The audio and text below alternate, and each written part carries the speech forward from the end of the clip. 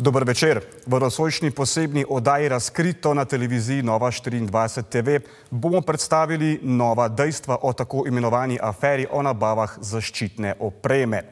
Poleg glavnih akterjev zdravka Počevalška, Mateja Tonina, Jelke Godec in Marjana Podobnika smo v studio nocoj povabili tudi tako imenovanega žvižgača Ivana Galeta, ki pa je naše vabilo zavrnil s pojasnilom, da ima zaenkrat dovolj televizijskega nastopanja. Naše vabilo sta zavrnila tudi predsednik stranke LMŠ Marjan Šarec in predsednik socialnih demokratov Dejan Židan, medtem ko ustvarjalci odaje Tarča na naše vabilo niso odgovorili. Žal nam je, da se niso odzvali, se bomo danes obelodanili številne nove podatke, tako da bi lahko besedo in priložnost za pojasnilo dobili vsi, ki so bili vključeni oziroma so se sami vključili v zgodbo o aferi oziroma nabavah zaščitne opreme. Najprej pa si pogledamo prispevek, ki ga je pripravila naša novinarska ekipa.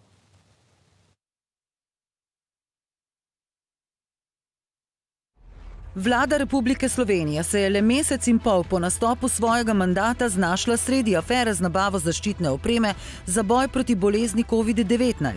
Televizija Slovenija je namreč pred dvema tednoma v oddaji Tarča v javnost lansirala človeka, ki so ga imenovali Žvižgač in ki naj bi razkril pritiske ter sporne posle pri nabavi zaščitne opreme, v katere naj bi bil upleten tudi sam vrh politike na čelu z gospodarskim ministrom Zdravkom Počivalškom. To je Ivan Gale, vodja skupnih služb na Zavodu za blagovne rezerve, kjer so bili vse čas krize zadolženi za nabave zaščitne opreme. Kljub Galetovim očitkom o netransparentni porabi javnega denarja, da se je preferiralo določene dobavitelje in da naj bi nekdo ob tem masno zaslužil, do danes nismo videli še niti enega dokaza nezakonitega početja, slišali pa precej povzdignjenih glasov in jasnih navodil. A pojdimo po vrsti. V soji žarometov se je med vsemi dobavitelji znašlo podjetje Gene Planet, ki je sklenilo pogodbo za dobavo 220 ventilatorjev tipa Sirius Med R30. To pogodbo je podpisal Anton Zakrajšek, direktor blagovnih rezerv. Ivan Gale trdi, da je omenjeno podjetje forsiral sam državni vrh, kar pa pristojni vse skozi zanikajo.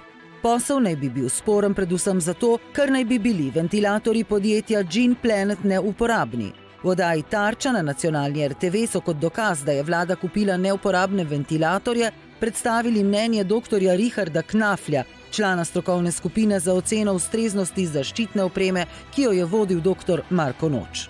Da, če zagotovijo zraven ustrezne cevi, ustrezni vlažilc, grelc, kompresor za zrak, potem ta ventilator pride res potencijalno poštev, vendar glede na vse ostale ponujene Kot ste že sami rekli, smo čez 90 ventilatorjev dobili v oceno in ocenili smo jih kot primernih uh, 13.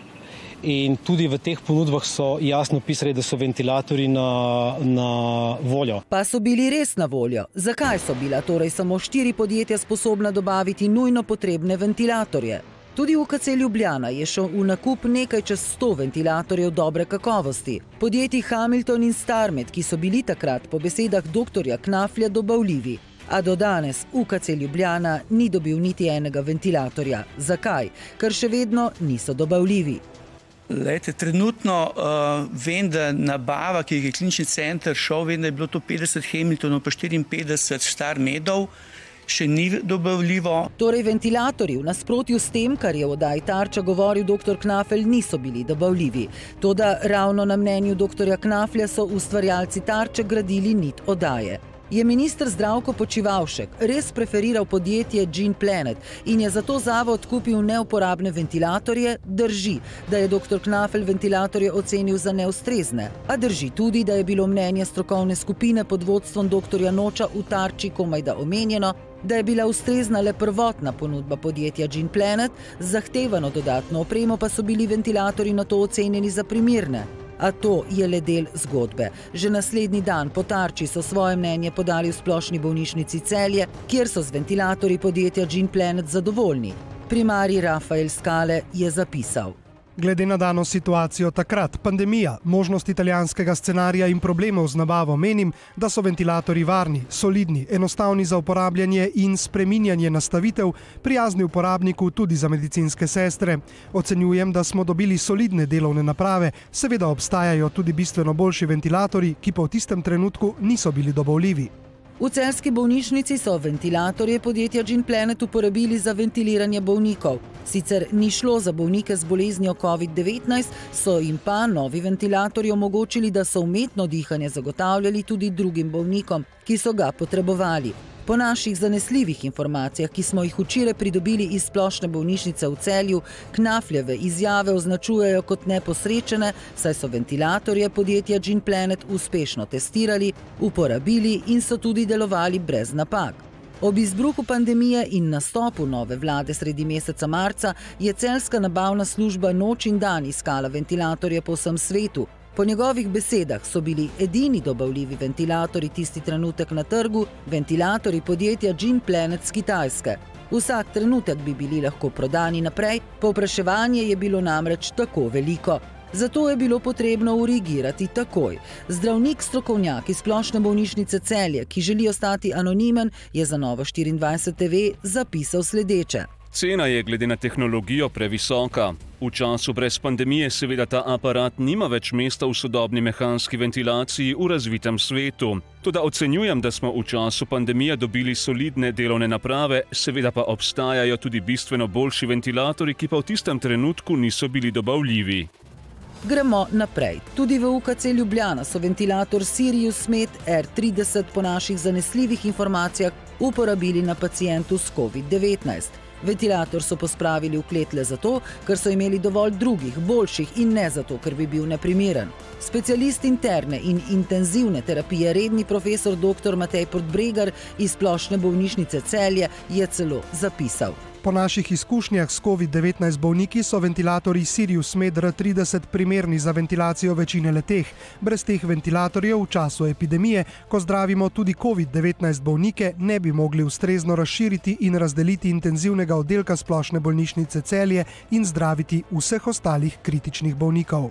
Zdravko počivalšek torej ni povozil stroke, kot so trdili v oddaji Tarča, in ker je mnenje vse stroke temeljilo zgolj na mnenju enega zdravnika. Vodja skupine, ki je ocenjevala primernost ventilatorjev dr. Marko Noč, pred naše kamere danes ni želel stopiti, prav tako se ne strinja z medijsko gonjo proti dr. Knaflju. Toda Knafljev angažma v oddaji Tarča ima več spremljevalnih faktorjev, ki jih razkrivamo danes.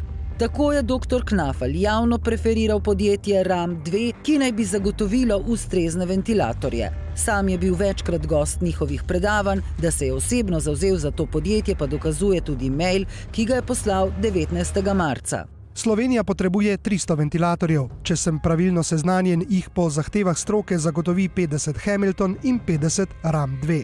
Še več, pri podjetju RAM2 gre očitno za dvornega dobavitelja ventilatorjev za UKC Ljubljana, kot dokazujejo dostopne pogodbe. Vse od leta 2013, kar obstaja evidenca, je UKC-ju ventilatorje dobavljalo in vzdrževalo podjetje RAM2. V tarči so trdili, da je imelo podjetje Gene Planet močno zaslombo politike, a niti zdaj slavni žvižgač Gale ni znal povedati, zakaj točno je temu bilo tako. Njegov edini argument je bil, da ima svoje mnenje. Jaz mislim, da tukaj je bil ta ponudnik absolutno preferiran, ne vem zdaj iz katerih razlogov, ampak eh, jaz pa imam svoje mnenje, da to ni bilo kar iz zraka. Pa je temu res tako, ali so bili pri Gene Planetu eni redkih, ki so lahko opremo dostavili? Po povpraševanju na blagovnih rezervah smo ugotovili, da podjetje RAM2 do današnjega dne ni dostavilo niti enega ventilatorja.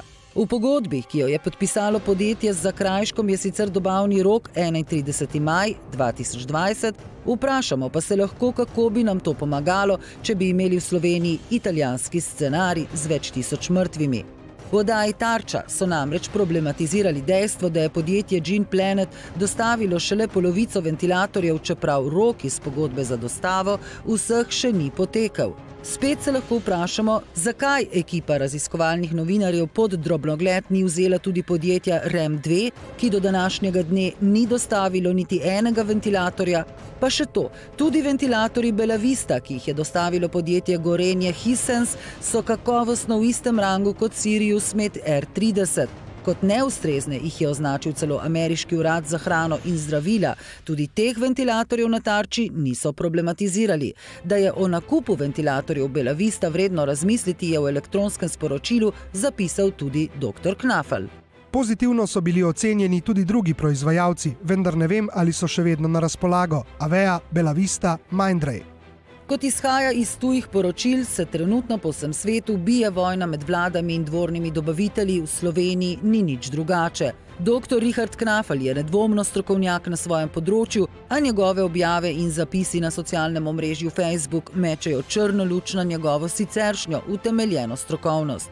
Tako so osrednji mediji za čuda spregledali, da je delil podobo, na kateri zdravnik odklopi kristjana z ventilatorja, ker ga bojda zdravi že Jezus, Na drugi je objavil sliko vibratorja v obliki križa, spet na tretji pa je trenutnega predsednika vlade primerjal z množičnim morilcem in nacionalnim socialistom Adolfom Hitlerjem.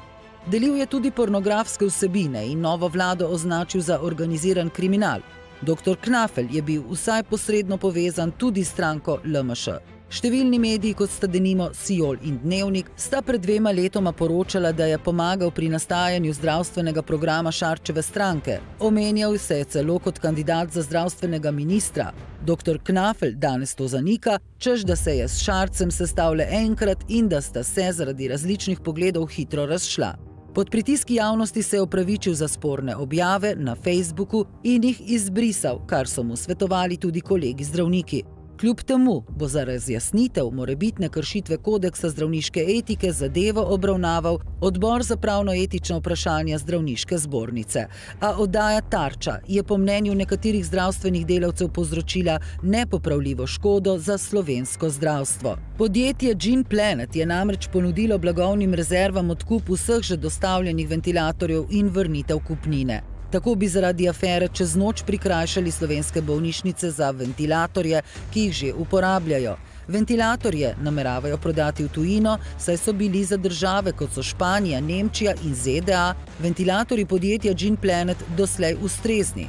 Vprašanje je, kaj bi to ob morebitnem novem valu epidemije pomenilo za slovenske bolnišnice, ki ventilatorje že uporabljajo. Ob opcijski nadgradnji, ki so jo naročniki prejeli, so namreč ventilatorji Sirius Med R30 primirni za zdravljenje COVID-19 bolnikov. Torej, ob dobavi kompresorja in teh ogrevalnih eh, oziroma vlaživca za ogrevanje in ogrevanih eh, cevi, bi bil ta ventilator tudi spremljiv za ventiliranje COVID pacijentov. Čeprav, kar vem, oni dejansko so dobili ventilatorje, torej Sirius Medi, ki imajo tudi to opcijo, torej imajo kompresor, imajo vlažene eh, cevi. Torej, jaz mislim, da tukaj stroka je si kar dosta enotna, kar se tiče uh, nabave teh ventilatorjev.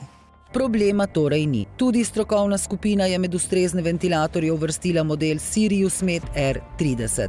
Res da na zadnje mesto, pa vendar. Stroka je odobrila ventilatorje, ki so jih v tarči skušali prikazati kot neustrezne. Mi smo dali potem uh, dodatno potrdilo, da je tudi ta, eh, bom rekel, Sirius Med, eh, nekako lahko se ga uporablja za zdravljenje teh pacijentov, seveda ob hoteli, da ima kompresor in pa da ima eh, vlažilec zraka z ogrevanimi cmi. S tem se seveda se pod potem zmanjša možnost uh, uh, kontaminacije prostora, kjer tak pacijent je. Ključen podatek v tej zgodbi torej ni, ali je Zavod za blagovne rezerve kupil slabše ventilatorje in kako je to sporno, pač pa, kaj je bilo 13. marca, ko smo se bali italijanskega scenarija, dobavljivo zdravniških vrst prihajajo novice, da se v tistem času ni dalo nabaviti ničesar, ne Hamiltonov, ne Starmedov, ne Mindrejev, ničesar. Edini dobavitelji so bili ventilatorji Sirius Med R30.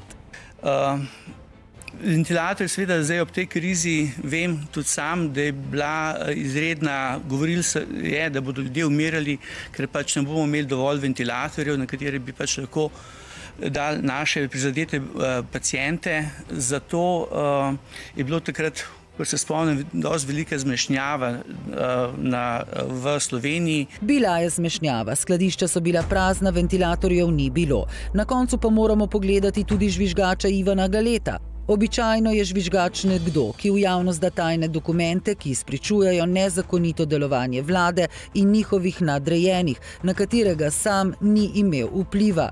Gale pa je bil na vrhu piramide, ki je odločala o nabavah. Podpisan je celo pod cel kup spornih pogodb. Že naš spletni portal je poročal o dobaviteljskih obotnici na Zavodu za blagovne rezerve, v katero naj bi bila vključena Gale in nekdani direktor Sove Sebastian Selan. Ta naj bi stal za podjetjema MD Global in Queco. Pogodbi s tema podjetjama je podpisal prav Gale, zanimivo dejstvo pa ostaja, da sta bili obe pogodbi s tema dvema podjetjama stornirani. Je torej Gale prišel v javnost zato, ker njegovi dobaviteljski kolegi niso dobili posla, je res v ozadju vladna korupcija ali pa je vlada stopila na prste korupciji, ko je presekala ustaljene dobaviteljske verige? Poglejmo samo pogodbo s podjetjem ND Global. Že pri podpisu pogodbe nekaj močno smrdi, saj je datum podpisa strani dobavitelja popravljen računalniško v rdeči barvi. Na vseh ostalih pogodbah so se dobavitelji podpisali osebno, na tej pa so datum več kot očitno naknadno popravili. Zakaj je bilo to dopuščeno in zakaj je pod to pogodbo podpisan ravno Gale? Neodgovorjeno ostaja tudi vprašanje, zakaj Gale potencijalne korupcije ni prijavil policiji, pač pa je najprej šel v medije. Sam je v tarči dejal, da zato, ker je bil to zanj najustreznejši kanal. Ja, sem mislil, da je to najustreznejši kanal, da pride ta informacija v javnost.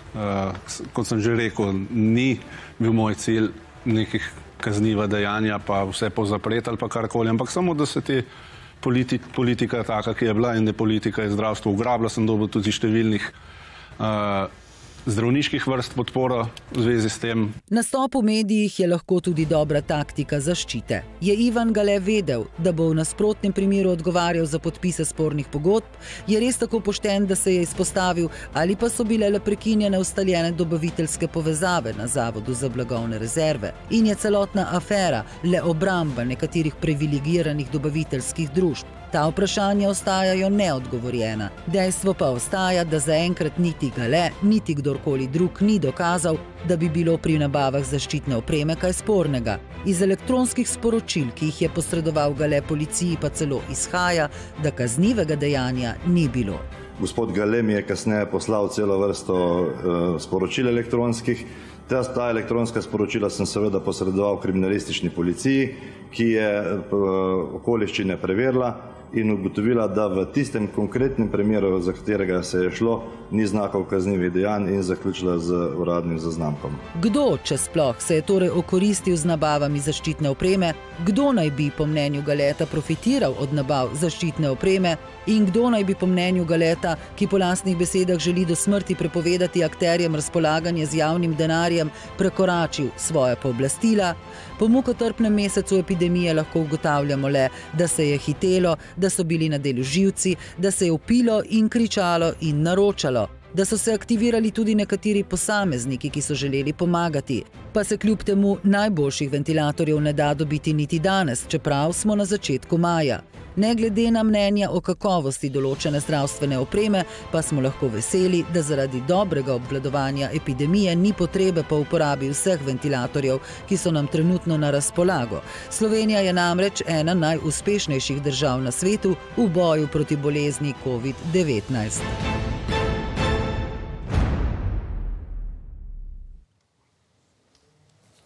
Ja, tako zdaj pa v studiu pozdravljam nocojšnje goste, minister za gospodarstvo Zdravko Počivašek, dober večer. Dober večer. Z nami je tudi minister za obrambo Matej Tonin, dober večer tudi vam. Dober večer. Tudi sekretarka v kabinetu predsednika vlade Jelka Godec, dober večer. večer. In predsednik Slovenske ljudske stranke, ki so ga tudi upletli v to afero, Marjan Podobnik, dober večer. Dober večer. Začeli bomo na dan 13. marca, ko je z delom nastopila nova vlada Janeza Janša. Začeli bomo z vami, gospod Počivavšek. Um, torej, seveda se je, vsi smo se spraševali, kakšno je stanje kaj je bilo nekako na razpolago na trgu, eh, kako hitro so se razmere takrat spreminjala, če se lahko še enkrat spomniva tistega časa, če lahko našim gledalkam in gledalcem orišete podrobno situacijo, kaj se je takrat na trgu sploh dalo dobiti in kako ste bili vi s tem pravzaprav seznanjeni.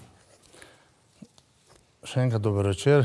Glede, govorimo o obdobju, ko lahko rečemo, da je vladal eh, kaos, Slovenija se je naenkrat znašla v situaciji, s katero ne moremo primerjati dobenega drugega obdobja od njene osamosvojitve od leta 1991 eh, dalje.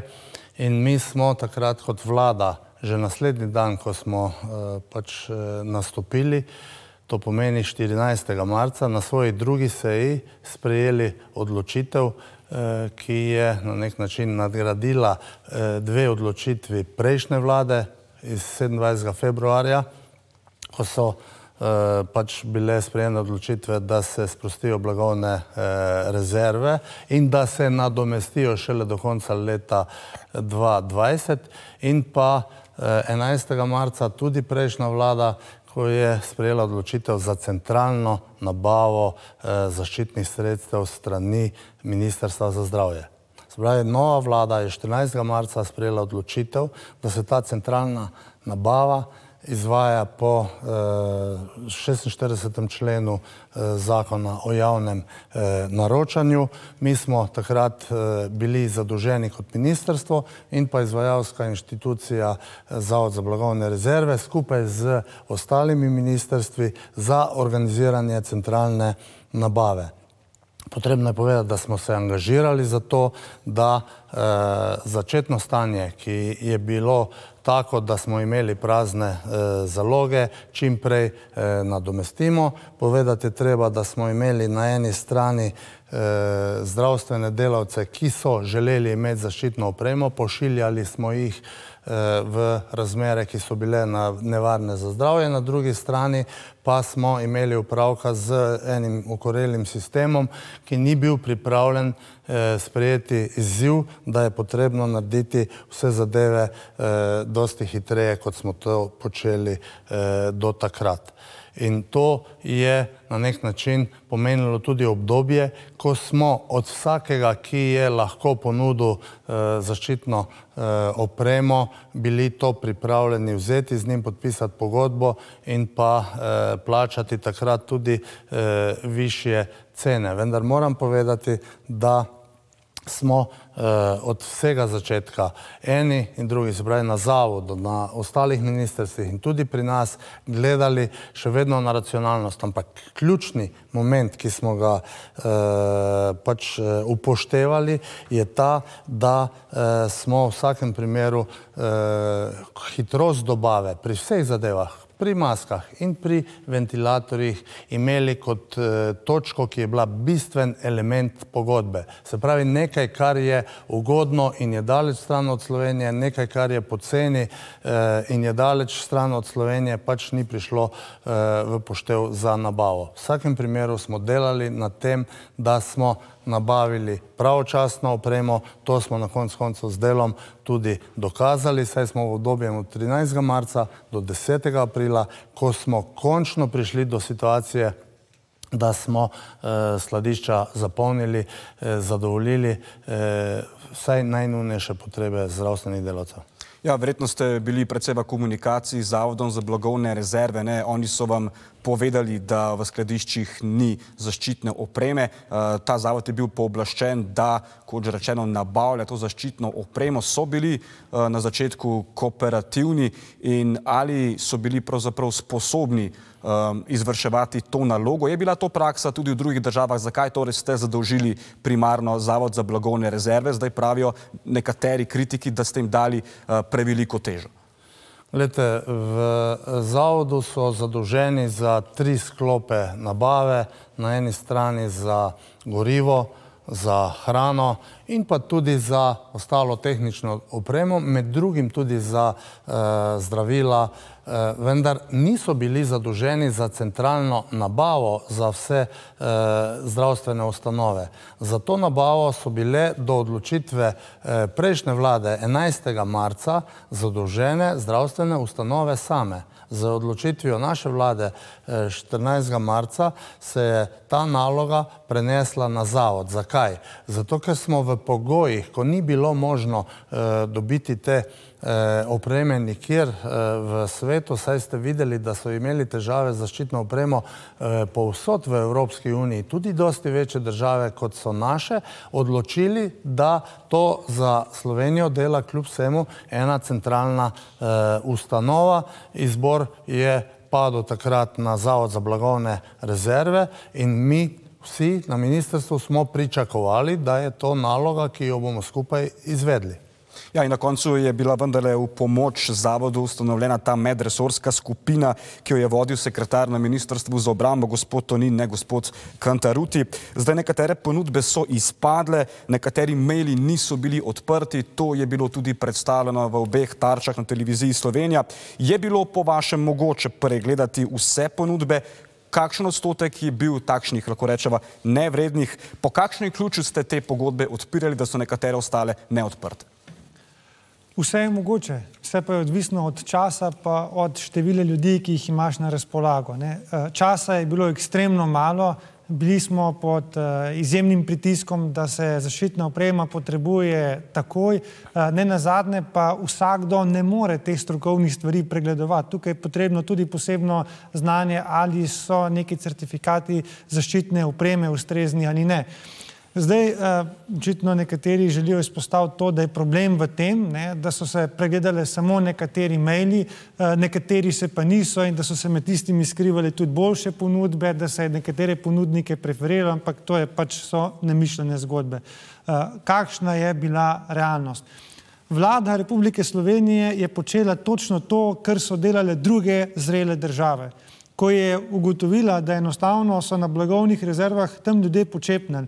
Ne samo to, da uh, so bili strokovno šibko usposobljeni, da jih je bilo malo, ne na zadnje je tudi direktor blagovnih rezerv zbolel za COVID-om. In v tistem trenutku je vlada blagovnim rezervam poslala pomoč v obliki medresorske delovne skupine.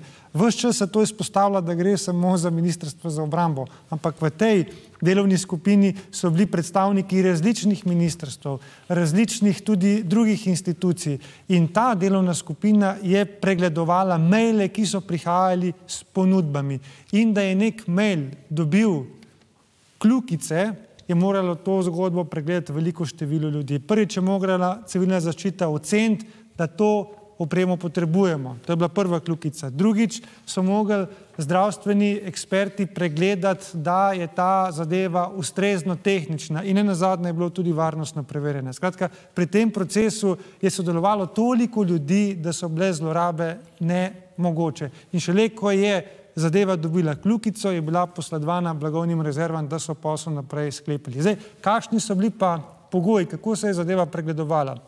Tri kriteriji so bili čas, rok dobave in nujnost nekega izdelka oziroma nekega artikla, ki smo ga potrebovali.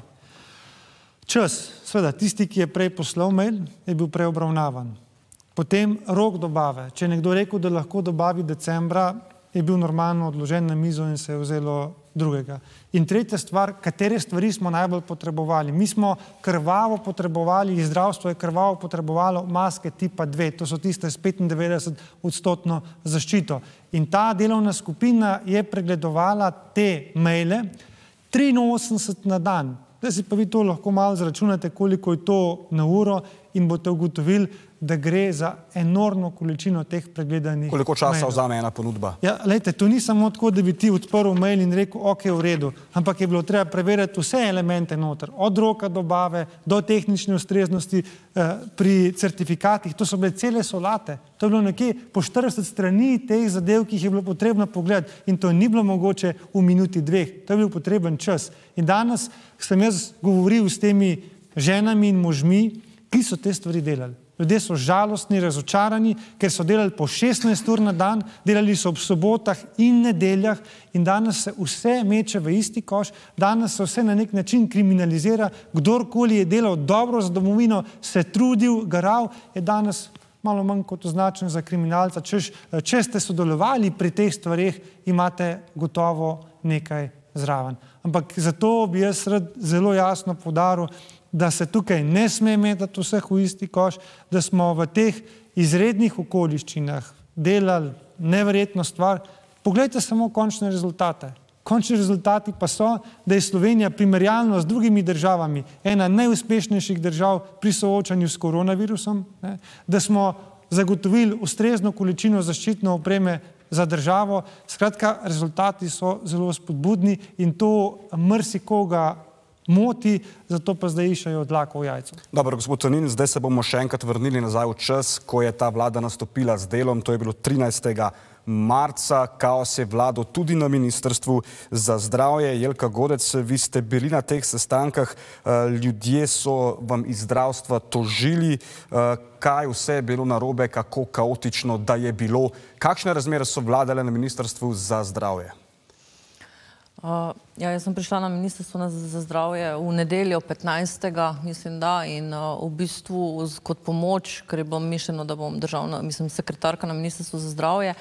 Jaz moram reči, da takrat je bilo ogromno mailov, klicov, uh, predvsem klicev no, uh, zdravstvenega osebja, uh, da opreme ni, kako naj delajo, nimamo opreme. V domovih za starejše enako. Jaz se spomnim eh, sestanka, ki ga je sklical premije 18.3. v Cankarevem domu za zdravniki in predstavniki domov starejših, ko so v bistvu iz Šmarja jokali. Dobesedno je gospa jokala, da ne ve, kaj naj naredi, ni opreme in eh, težko je bilo, jaz verjamem, obema ministroma in predsedniku vlade povedati, da pač so prazna skladišča in da se trudimo.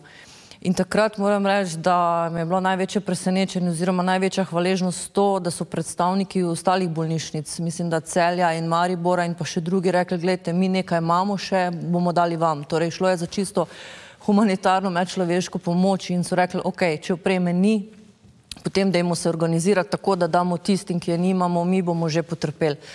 Uh, in uh, mor, mor, mislim, težko si je predstavljati tisti, ki tega ni doživel, ki ni bil zdravnik, ki ni bil doma za starejše, si tega ne more predstavljati. In danes je zelo z lahkoto govoriti nekomu, ki ni bil v tistem času, ki ni bil zdravnik, reči, gledajte, sej, se ste lahko nabavili. Lahko bi na kitajskem, lahko bi mimo vrste, ne vem, kje vse. Ne. Ja, pred nadaljujemo, si poglejmo, zakole za nekako, da se seznanimo z dejstvi, s katerimi sredstvi je razpolagalo Ministrstvo za zdravje, s kakšnimi sredstvi, vse skupaj je opisal v elektronskem sporočilu za naše uredništvo bivši zdravstveni minister Aleš Beder. Poglejmo si. Spoštovani, hvala za povabilo v odajo, ki pa se je ne morem udeležiti. Vam pa pošiljam pojasnilo. Epidemiološka slika se je v Sloveniji in po svetu spreminjala najprej iz tedna v teden, potem iz dneva v dan in na koncu iz ure v uro. Že na februarskih in marčevskih sestankih smo ministri držav članic Evropske unije iskali rešitev, kako do zaščitne opreme, saj je bilo jasno, da je države nimamo dovolj za primer epidemije. Mnenje je bilo enotno, sledili bomo načelu solidarnosti in skupaj iskali zaščitno opremo opremo. To se je hitro izkazalo za nerealno, solidarnosti k malu ni bilo več. V Sloveniji je praviloma nabava zaščitne opreme odgovornost vsakega zdravstvenega zavoda, saj jo potrebuje za vse nalezljive bolezni. Do četrtega tretjega v Sloveniji ni bilo primera novega virusa, ni bilo izrednih razmer, kar pomeni, da so bile za opremo odgovorne bolnišnice in oprema bi se morala nabavljati skladno z zakonom o javnih naročilih. Na terenu smo zaznali pomankanje zaščitne opreme in odreagirali. Tako v sklopu sklopu evropskih naročil, kot tudi sami. Aktivno smo iskali opremo in preverjali ponudnike. Že takrat je bilo zaradi razmer preverjanje ponudnikov izredno zahtevno. Dodatna težava je bil tudi denar. Za zaščitno opremo je bilo v proračunu Ministrstva za zdravje na voljo 50 tisoč evrov. Zato smo vladi predlagali, da se proračunske rezerve iz Ministrstva za finance prenesejo na Ministrstvo za zdravje za namen nabave zaščitne opreme. 10. ali 11. marca, po spominu, je Ministrstvo za finance na Ministrstvo za za zdravje za nabavo opreme nakazalo 12,5 milijona evrov. 12. marca smo razglasili epidemijo, naslednji dan smo zaključili mandat in odšli. Denar je ostal.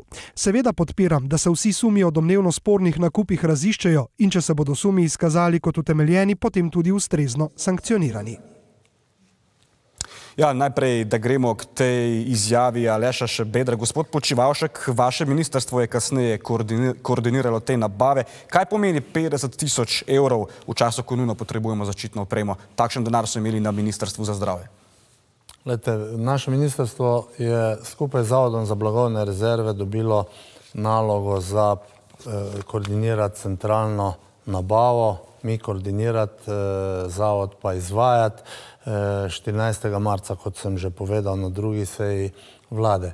50 tisoč pomeni 50 tisoč mask kirurških, se pravi drobtinica v potrebah strahovitih razmer, kjer smo imeli na zahodnih mejah italijanski scenarij, kjer smo se morali čez noč zorganizirati za nabavo zaščitne opreme, kjer niso samo maske tipa ena, dva in pa tri, ampak tudi teh ventilatorjev za potrebe pomoči tistim, ki bi to rabili potem, ko se okužijo z virusom. In v tej luči je še enkrat potrebno razumeti, da je bil v tem obdobju narejen en ogrom napor, tako kot je kolega minister povedal, najprej izbora različnih ponudnikov in potem tudi realizacije vseh teh pogodb do te mere, da smo lahko vsaj sproti zagotavljali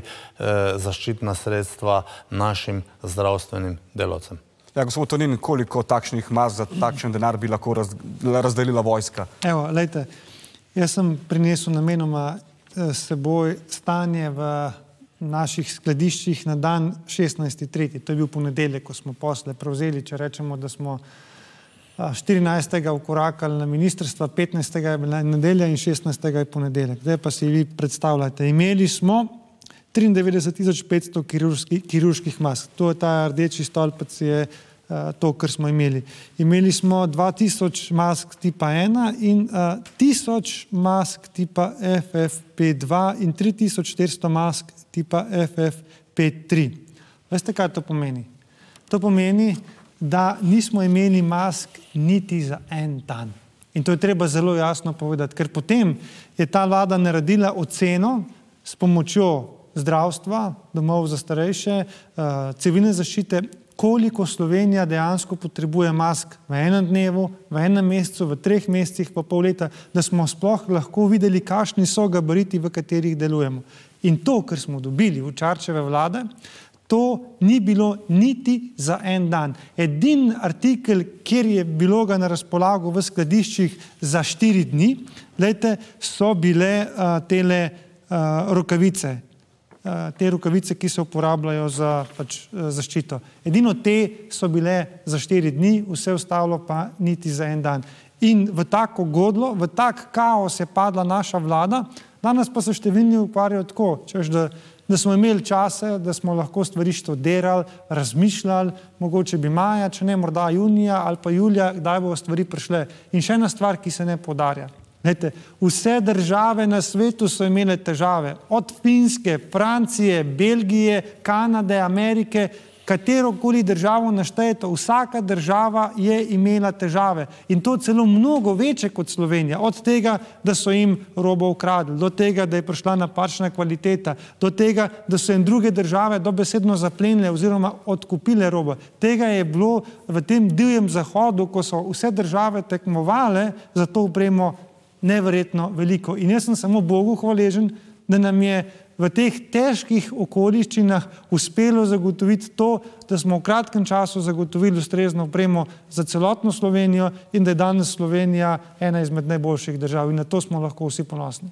Gospa Jelka Godec, zakaj je bilo Ministrstvo za zdravje tako nepripravljeno na začetek korona krize? Nenazadnje, preden je odšel minister Aleš Šabeder, je sodeloval tudi na nekih konferencah s kolegi ministri drugih evropskih držav.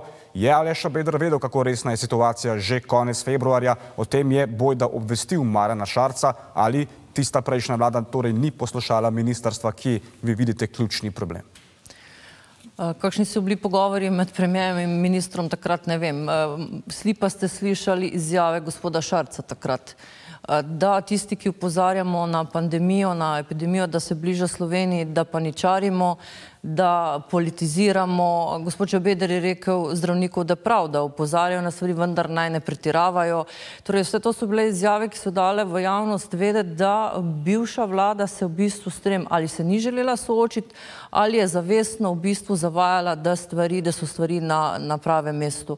In zato tudi verjetno na Ministrstvu za zdravje je nastajala, kot je dejal, neka tabela oziroma so začeli zbirati ponudnike in to tabelo smo dobili v roke in to je tabela, kateri gospod Gale govori, ki je bila tudi poslana, poslana potem na blagovne rezerve, naj se pogleda, ampak če, ko boste videli tisto tabelo, ko bodo vsi, ki bodo to preiskovali, videli, je dobavni rok začetek sukcesivno od konca aprila dalje. Recimo, in ko ste vprašali 50 tisoč evrov, to je bil en respirator, ki ga je kupilo Ministrstvo za zdravje pred našo vlado. Torej, Ministrstvo za zdravje bivše je nabavilo, mislim, da ne, dva respiratorja, ne rekla, ampak oba. In ta respirator je bil bistveno dražji, kot so poprečju ti. 50 tisoč evrov, 49 pa še nekaj, verjetno dober respirator, tudi je bil ocenjen tudi pri nas kasneje, ampak za nadaljno nabavo teh respiratorjev recimo je bilo sukcesivno začetek aprila se začne nabavljati. Mi pa vemo, da smo v bistvu uh, tisti vrh nekako dosegali konec marca in tako naprej.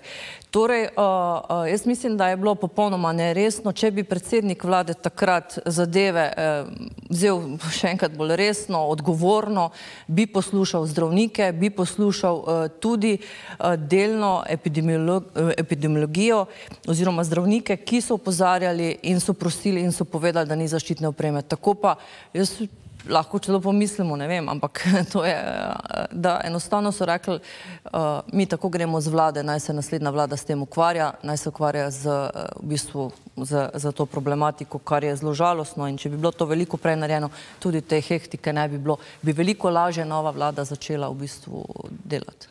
Ja, in razmere so bile kaotične, tudi nekako sporočilo vlade je bilo v tistih prvih marčevskih dneh, ko je nastopila svojim delom, naj pomaga vsak ki lahko. No, vsi vi ste se soočali z očitki, da ste tako ali drugače posredovali pri nabavah zaščitne opreme. V primeru gospoda Zdravka Počevalška naj bi šlo za lobiranje za podjetje Jim Planet. Matej Tonin in celo njegovo mamo so povezovali s podjetjem Akron. Zaščita Lukač, to je bilo podjetje, ki se je omenjalo eh, v zvezi z Jelko Godec, še prednje bila sekretarka. No, medtem ko ne bi zadobnik trejc lobiral Marjan Podobnik, celo tako, da naj bi kričal in grozil z Janezom Janšo in pa zdravkom Počivalškom. Gospod Podobnik, zdaj boste dobili besedo, da še enkrat pojasnete slovenski javnosti. Ste grozili z Janezom Janšo in zdravkom Počivalškom? Ste res tako upili na uslužbence Zavoda za blagovne rezerve in če ste res upili, se vam to zdi sprejemljivo? Torej, uh, jaz bom pojasnil uh, vse ozadje. Na začetku pa že povem, da sem dvignil besedo, uh, zelo močno sem dvignil glas, Eh, parkrat v življenju tako, eh, mislim pa, da nisem nikomor grozil, eh, če so pa posneli, bo pa itak to tudi vidno. Bi pa na kratko predstavil, zakaj je šlo, ker so bili nekateri datumi tukaj že lepo predstavljeni. Mene je župan Slovenske bistrice prosil, da imajo probleme v občini, imajo pa podjetje, ki ima dobre kontakte po svetu, ki lahko hitro dobi kakovostno opremo po ugodni ceni, če lahko kakorkoli posredujem, da bi čim prej ta oprema prišla do blagovnih rezerv in preko tega tudi do civilne zaščite in naprej do komunale in do občin in seveda vseh drugih. Jaz sem dejansko takoj kontakt postavil, takoj sem poklical oziroma napisal sporočilo predsedniku vlade, takoj sem dobil odgovor, sporoči naprej na gospodarsko ministrstvo, tam sem dobil takoj odgovor, posredujte naprej te vse eh, podatke na blagovne rezerve. Eh, direktor blagovnih rezerv je naš dolgoletni župan iz Velikih Lašč, sem ga poklical, so takoj vzpostavili ta kontakt s podjetjem Dobnik Trade, šli v pripravo pogodbe, naredili pogodbo, garantirali za, za, to, za ta posel in zadeva je bila na tem, da bi lahko 20. marca prišlo na blagovne rezerve milijon mask iz Turčije. Nekaj ur predtem, se pravi do 18. marca ob 9. je bilo treba te maske dvigniti v Turčiji. Prej je minister Tonin povedal, da je 16. marca v Sloveniji ni bilo za več kot za en dan nikakršne opreme. 18. marca ob 9. zjutraj je prenehala uh, rezervacija, ki jo je imelo to podjetje v Turčiji. In mene so s podjetje klicali prvič, drugič, tretjič in tako naprej. Poslušali smo po televiziji, katastrofa, nobenih mask nikjer, v Italiji umirajo, v Evropi drug drugemu jemljajo te stvari, bližal se je kataklizmični scenarij in jaz sem dvignil telefon, sem rekel, pa ste vi normalni, za božje oljo imate pogodbo, imate podpisano, imate zagarantirano, samo ta gumb pritisnite, ta podpis, tečejo zadnje ure in če bi jaz nekaj ur prej morda dvignil ta glas, bi 20. marca imeli v Sloveniji milijon teh mask. Ker so sicer pospešili takrat, ampak nekaj ur prepozno, so se zadeve potem komplicirale, v Turčiji ni bilo več, pač so zgubili te, ker ko zgubiš vrsto, si šel nazaj na 250. mesto, potem v Turčiji, potem v, v Indiji in potem z Kitajske in so te maske prišle tako kot številne druge. Uh, 16. aprila po 49 centov za komat, kar je seveda bilo tudi ugodno, uh, mislim, da celo najnižja cena, bi pa rad izkoristil to priložnost za to. Jaz bi rad čestital tej vladi, tem ljudem, ki so tukaj, tistim, ki jih ni tukaj, predsedniku vlade, drugim ministrom, tudi ljudem na blagovnih rezervah, vseh drugih agencijah, inštitucijah, ki so prevzemali odgovornost in prevzemali odločitve. Odločali so. A si vi predstavljate, da ti ljudje ne bi odločali? Mi bi imeli prazne blagovne rezerve, mi bi imeli lahko mrtve, številne druge ogrožene in to, kar se danes dogaja, te diskreditacije v teh osrednjih medijih, dobesedno spodbujajo naj ljudje, ki imajo nek kontakt, naj ga ne uporabijo v skupno dobro. Svi predstavljate, soprogo predsednika vlade, gospod Urško Bačovnik Janša, grejo napadati, ker je posredovala kot zdravnica, ki se tudi sicer na te stvari, se pravi, je tudi strokovnost tega področja, sporočajo, da je to nekaj slabega. Poglejte, do kakšne skrajnosti tudi minister Židan je posredoval. In to je dobro. Do, do in to je, samo ne počakajte, da povem. In to je dobro. Jaz mu izražam priznanje, če je posredoval. Ampak so do te mere diskreditirali stvari, da se sedaj ne upa priznati, da je posredoval in se opravičuje. Namesto da bi se opravičevali vsi tisti, ki so imeli kontakt, imeli možnost, pa niso posredovali. Ja, gospa Jelka Godac, ne, tudi vaše ime se je omenjalo v povezavi s priporočilom nekega podjetja Zavoda za blagovne rezerve. Zdaj, zakaj se po vaše problematizira, da vi tega ne bi smeli početi, preden ste postali državna sekretarka in kako ste pravzaprav vi bili povezani, v kakšnem odnosu ste bili recimo s predstavniki zaščite Lukač, zakaj ste sploh posredovali ta mail, kako odgovarjate tem kritikam torej? Glede, uh, uh, tako kot je rekel gospod Podobnik, uh, prevzemamo vso odgovornost in vse, kar je bilo takrat narejeno, če se nam bo dokazalo kakršnokoli posredovanje, ukoriščenje, karkoli, ker odgovornost si za tisto, kar narediš in za tisto, kar ne narediš.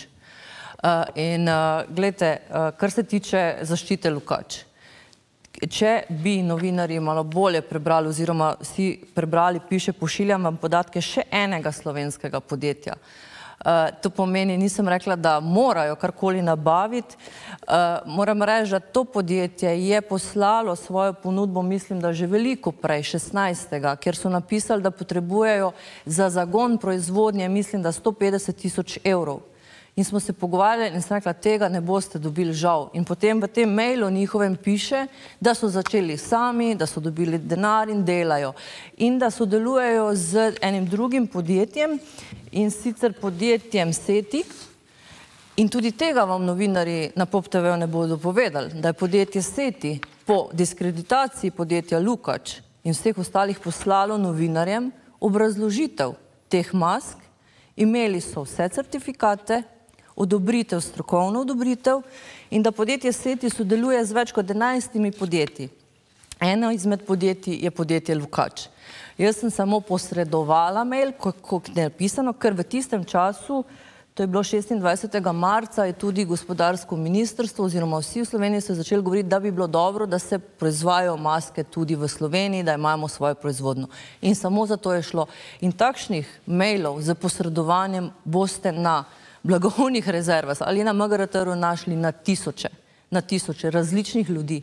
Tako kot je bilo rečeno, uh, uh, z moje strani, strani, ne vem, XY človeka v Sloveniji, poziv je bil in vsi, ki so začutili, da lahko pomagajo, so te ponudbe pošiljali. Tako kot je bilo rečeno, tudi gospod Židan je posredoval, pa nič slabega. Nihče pa ne pove, ali smo pritiskali, ali smo zahtevali, ali smo karkoli s tem narobe naredili. Posredovali smo ponudbe, ki so prihajale na naše maile. Ja, v Tarči je sicer tako imenovani žvižgač Ivan Gale že pojasnil, da, eh, kot že rečeno, ne vi, ne vaša mama niste pritiskali, da bi se izbralo podjetje Akron, pa vendarle ne. Eh, v zadnjih tednih je bilo predvsej govor o tem, da je v tem podjetju zaposlena vaša mama in se je to problematiziralo, kako pomembno vlogo ima pravzaprav vaša mama v tem podjetju, ko sklepa posle s eh, državo. Jaz sem od samega začetka vedel, da gre tukaj za neko nameščeno stvar, ki je bila namenjena predvsem moji diskreditaciji, ne, ker res bi bil nor, da bi kakorkoli posredoval za podjetje svoje mame. Tako kot je bil nastavljen postopek, bi mogel jaz najprej vplivati na civilno zaščito, da bi rekla, da to maske potrebujejo, potem bi mogel na zdravnike vplivati, vplivati da bi to tehnično potrdili, na koncu bi mogel še vplivati na to, da bi varnostno potrdili in na koncu še na blagovne rezerve, da bi ta posel speljali. Hvala Bogu, je Ivan Gale to javno, pred celotno slovensko javnostjo povedal, da s tem nimam nič. Je pa to moji mami povzročil gromozansko škodo. Ona je bila na bolniškem ukrevanju vse od 21. decembra dalje, ko je imela prometno nesrečo in eh, po vseh teh krivičnih obtožbah in napadih se je njeno zdravstveno stanje izrazito poslabševalo. Tako da še danes ima probleme z nespečnostjo eh, poročila gled, težko gleda, zaradi tega sem tudi jaz medijem zelo jasno povedal, ne, eh, če mislijo, da je kaj narobe, ne napadajo mene, mojo mamo ne pa pač pustijo primeru. So se pa izrazito natančno pripravili, jaz sem samo gledal, ker v nekem trenutku so imeli izreze iz Facebooka, iz poslovnih poročil, iz ne vem česa, še vsega, enostavno poskušali se ustvariti tukaj neko zgodbo, ki pa jo ni bilo. In kot imate tukaj že celo vrsto primerov, vsi ti primeri so bili namenjeni za diskreditacijo posameznih ministrov in na koncu tudi vlade. Jaz še vedno trdim, da gre tej vladi dobro, da mi pozabljamo, da je ta vlada razdelila tri milijarde denarja ljudem. Številni upokojenci, študenti in druge družine so danes v teh dneh dobili že prve pomoči v temu iz tega korona paketa, da nam gre dobro primerjalno z drugimi državami in jaz mislim, da to opozicijo neznansko moti in da to je tudi razlog, zakaj se ti, vse ti napadi dogajajo. In to danes, ko sem govoril na komisiji za nadzor javnih financ, ko smo vse te stvari razlagali, pogledajte, v zvezi z mojo mamo je vse pojasnil gospod Gale in bi se morala na tej točki zgodba ostaviti. Ampak nekateri opozicijski poslanci to še kar gonijo in gonijo iz česa je jasno razvidno, da pri vseh teh strašnih preiskavah, ki jih napovedujejo, ni cilj resnica. Ni cilj resnica, ampak je cilj rušenje te vlade. Ja, gospod Počevalšek, ne sej v zvezi z Jim Planetom ste vi že predvsej pojasnevali vse skupaj v obeh oddajah tarče na televiziji Slovenija, pa vendarle zdaj smo videla podjetje Jim Planet, čeprav, kot smo tudi videli v prispevku, je bilo tisti čas 13. marca edino, ki je bilo sposobno v doglednem času iz Kitajske dobaviti te ventilatorje, so se zdaj, ker so javno očrnjeni, odločili, da bi te ventilatorje odkupili nazaj, zato bi lahko nekatere bolnišnice celo ostale brez teh ventilatorjev. Kako zdaj vi doživljate to zgodbo in uh, ta medijski masakar, ki ga je bilo ne nazadnje deležno tudi to podjetje, ne, Jim Planet? Lete, še enkrat je potrebno povedati, da je bil čas ključni element dobave. Mi smo imeli v na nek način proučevanju eh, pet dobaviteljev na tem področju. No, nobene pogodbe nismo podpisali brez potrditve stroke. Dva podjetja sta odstopila od eh, te pogodbe in sicer eh, gospod dr. Podbregar je potrdil ponudbo Gin Planeta, Eh, dr. Noč, eh, Gradišek in pa dr. Knafel, pa ostale eh, tri ponudbe. Ena, kot sem povedal, ni realizirana, ker niso bili v stanju tega narediti. Mi smo se morali odločiti za ventilatorje, ki so bili dobavljivi. Kaj bi nam pomagalo, če bi podpisali pogodbo z podjetji, na, za katere nekateri predlagajo, da bi morali, ker so najboljši, eh, ki so dobavljivi šele čez šest mesecev. Se pravi, da smo sprejeli odločitev v tistem trenutku, za katero smo smatrali na osnovi strokovne, vsaj minimalne potrditve, da je v tistem trenutku najboljša. Podobne odločitve je bilo potrebno sprejemati tudi na drugih eh, področjih. Seveda pa razumem eh, težave ali pa prizadetost eh, podjetja, ki je podjetje, Mislim, da je od vseh teh naših dobaviteljev tukaj podjetje z eno najboljših, če ne najboljšo referenco, če pogledate njihove eh, finančne in poslovne podatke, da so se odločili, da bodo to, eh, te eh, ventilatorje pač prodali v tistih državah, kjer pač ocenjujejo, da so za njih dovolj dobri. Še enkrat ponavljam, mi smo bili Eh, pod eh, pritiskom tega, da zagotovimo ventilatorje, zato da ne bo potrebno našim zdravnikom sprejemati odločitev, eh, komu bodo omogočili zdravljenje in pa pomoč z ventilatorjem, komu pa ne.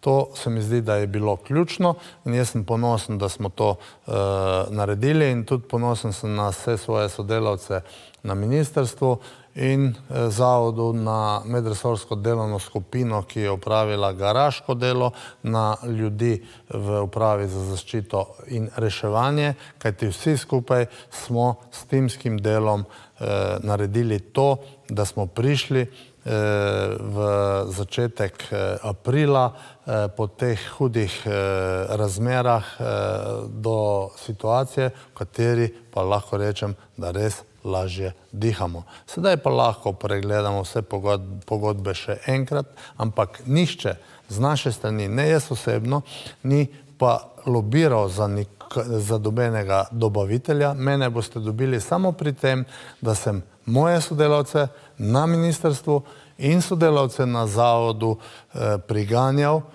k temu, da se zadeve hitreje izvedejo. Bilo je potrebno preiditi iz tako imenovanega mirnodobskega načina delovanja na e, malo hitrejše obrate. Seveda pa so v tem načinu dela eni videli prej pod potrebo potem, da so zbirali dokumente, prisluškovali, kot pa da bi se malo hitreje obrnili in pogodbe, ki so jih sami podpisali, tudi realizirali. Ja, morda čisto eno kratko pod vprašanje, pa res prosim za kratek odgovor. Ne? Kaj nam daje pravzaprav, kakšen zgled nam daje ta umik Jim Planeta, katera podjetja bodo sploh še upala poslovati z državo, ko se jih tako medijsko očrni? Jaz upam, da bodo pač slovenska stroka, eh, ljudje, ki vodijo zdaj eh, Zavod za blagovne rezerve in pa predstavniki Jim Planeta eh, našli rešitev, ki bo zadovoljiva za vse strani. Še vedno moramo uh, vedeti, da uh, nismo na koncu te pandemije, da mora nekdo sprejeti odgovornost, kaj pa če se ta uh, pandemija ponovi v začetku jeseni, uh, po zimi. Mi kot ministrstvo in zavod smo dobili nalogo, da zagotovimo 300 uh, dodatnih uh, ventilatorjev. Če je ocena stroke taka, kot je, to pač z veseljem sprememo. Ja, dobro, v zadnjih dveh tednih so bili očitki bolj, lahko rečemo, predstavnikom te vlade, um, da so poizkušali posredovati pri poslih zaščitno opremo. Kot je prej že povedal gospod Marjan Podobnik, so uspeli v zadnjih dneh uplesti tudi ženo predsednika vlade. Skratka, očitki bolj ali manj letijo na zdajšnje nekdanje politike z desnega pola. Marjan Podobnik je bil omenjen v prvi tarči skupaj tudi s nekdanjim vodjo Nove Slovenije oziroma krščanskih demokratov Lojzetom Petrletom. Ne? In zdaj se poraja veliko vprašanje, zakaj se problematizira, če so nekako svetovali in poskušali pomagati predstavniki ene strani, torej vladne strani, drugo pa ne. Uh, bilo bi zanimivo slišati, kaj je danes na seji v državnem zboru povedal sekretar na gospodarskem ministrstvu, gospod Aleš Kantaruti. Poglejmo njegovo izjavo. In tukaj, verjamem, da mi gospod Židan ne bo zamiril, ga zelo cenim, v dobrih odnosih verjamem, Ampak, ko govorite, tudi vi, spoštovana poslanka, predlagateljica, ne, da so bile pritiski samo z ene strani ali pa politično umešavanje, jaz klica gospoda Židana, ki je predlagal, če me lahko pokliče gospod Sandi Češko, nisem nikoli in ga tudi ne dojemam kot politični pritisk, ampak kot klic človeka, ki mu ni bilo vseeno, zato, kar se dogaja v Sloveniji, zato, da nimamo ta trenutek opreme, pa bi jo mogoče lahko tudi preko gospoda Češka dobili. Bom prosil vse za kratek komentar. Začeli bomo z vami, gospod Počivašek. Torej, Dejan Židan je tudi klicaril in priporočal ljudi. Kako to komentirate? Lete, jaz eh, ne komentiram nobenega klica, bilo jih je ogromno. Mi smo delali na tem, da zagotovimo v tistem času, lahko rečem, eh, kaotičnih in nevarnih razmer dovolj zaščitne opreme. Nismo oškodovali državnega proračuna, vso blago, ki smo ga dobili, smo tudi plačali, ničesar nismo predplačali, pa ne dobili eh, blaga, tako da sem eh, pri teh zadevah popolnoma mirn in z veseljem eh, lahko pokažemo rezultate svojega dela tudi s številkami. Ja, gospod Tonin, kje je po vaše problem? Ne, Lojze Petrle je bil problem zaradi bojda svojih čerke, tukaj je Dan Židan kljub prijateljstvu s gospodom Češkom, ki je bil uh, tudi v času kampanje se izpostavljal za stranko SD, pa ni problem.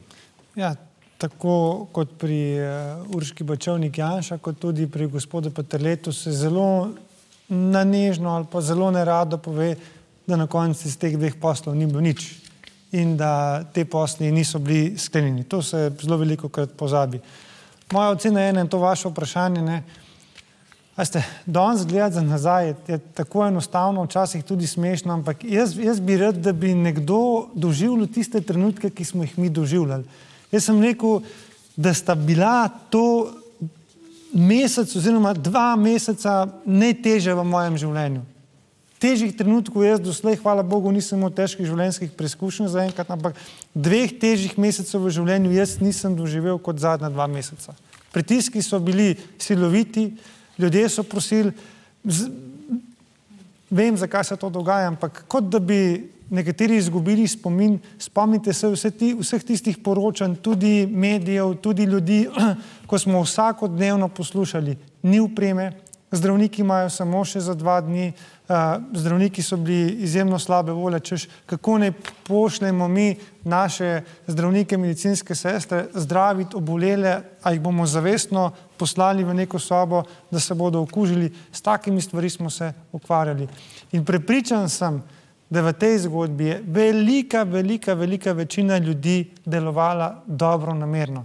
So klicali, so pošiljali maile, predlagali, spodbujali Jaz sem prepričan, da je to delala velika, velika večina ljudi iskreno. Zagotovo pa, kot pri vsaki stvari, se bo ponajdel tudi kakšen takšen, ki morda slabo v srcu misli ali pa ki je imel kakšne druge računice.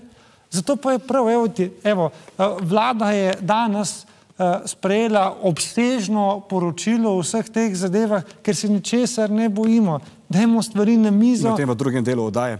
Dajmo stvari na mizo in bomo videli, kakšne so. Kakšne so. Hvala, gospod Tonin. Gospa Jelka Godec, ne, kot že rečeno, Dan Židan je torej tudi nekako posredoval za ta posel, oziroma saj poskušal posredovati. Sandi Češko, kot že rečeno, povezan s socialnimi demokrati. Ali dojemate takšen klic Dana Židana uh, kot pomoč vladi ali kot pritisk na vlado?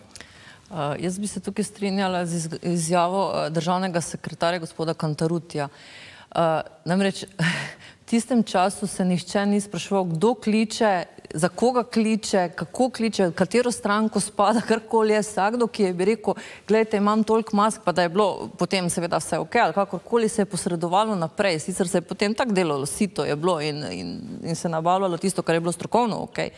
Ampak pravim, takrat nihče ni o tem razmišljal. In zdaj, ko gledam nazaj tiste tri dni, tako kot je rekel kolega Tunin, meni se zdi, da je bilo to, da smo eno leto takrat oddelali.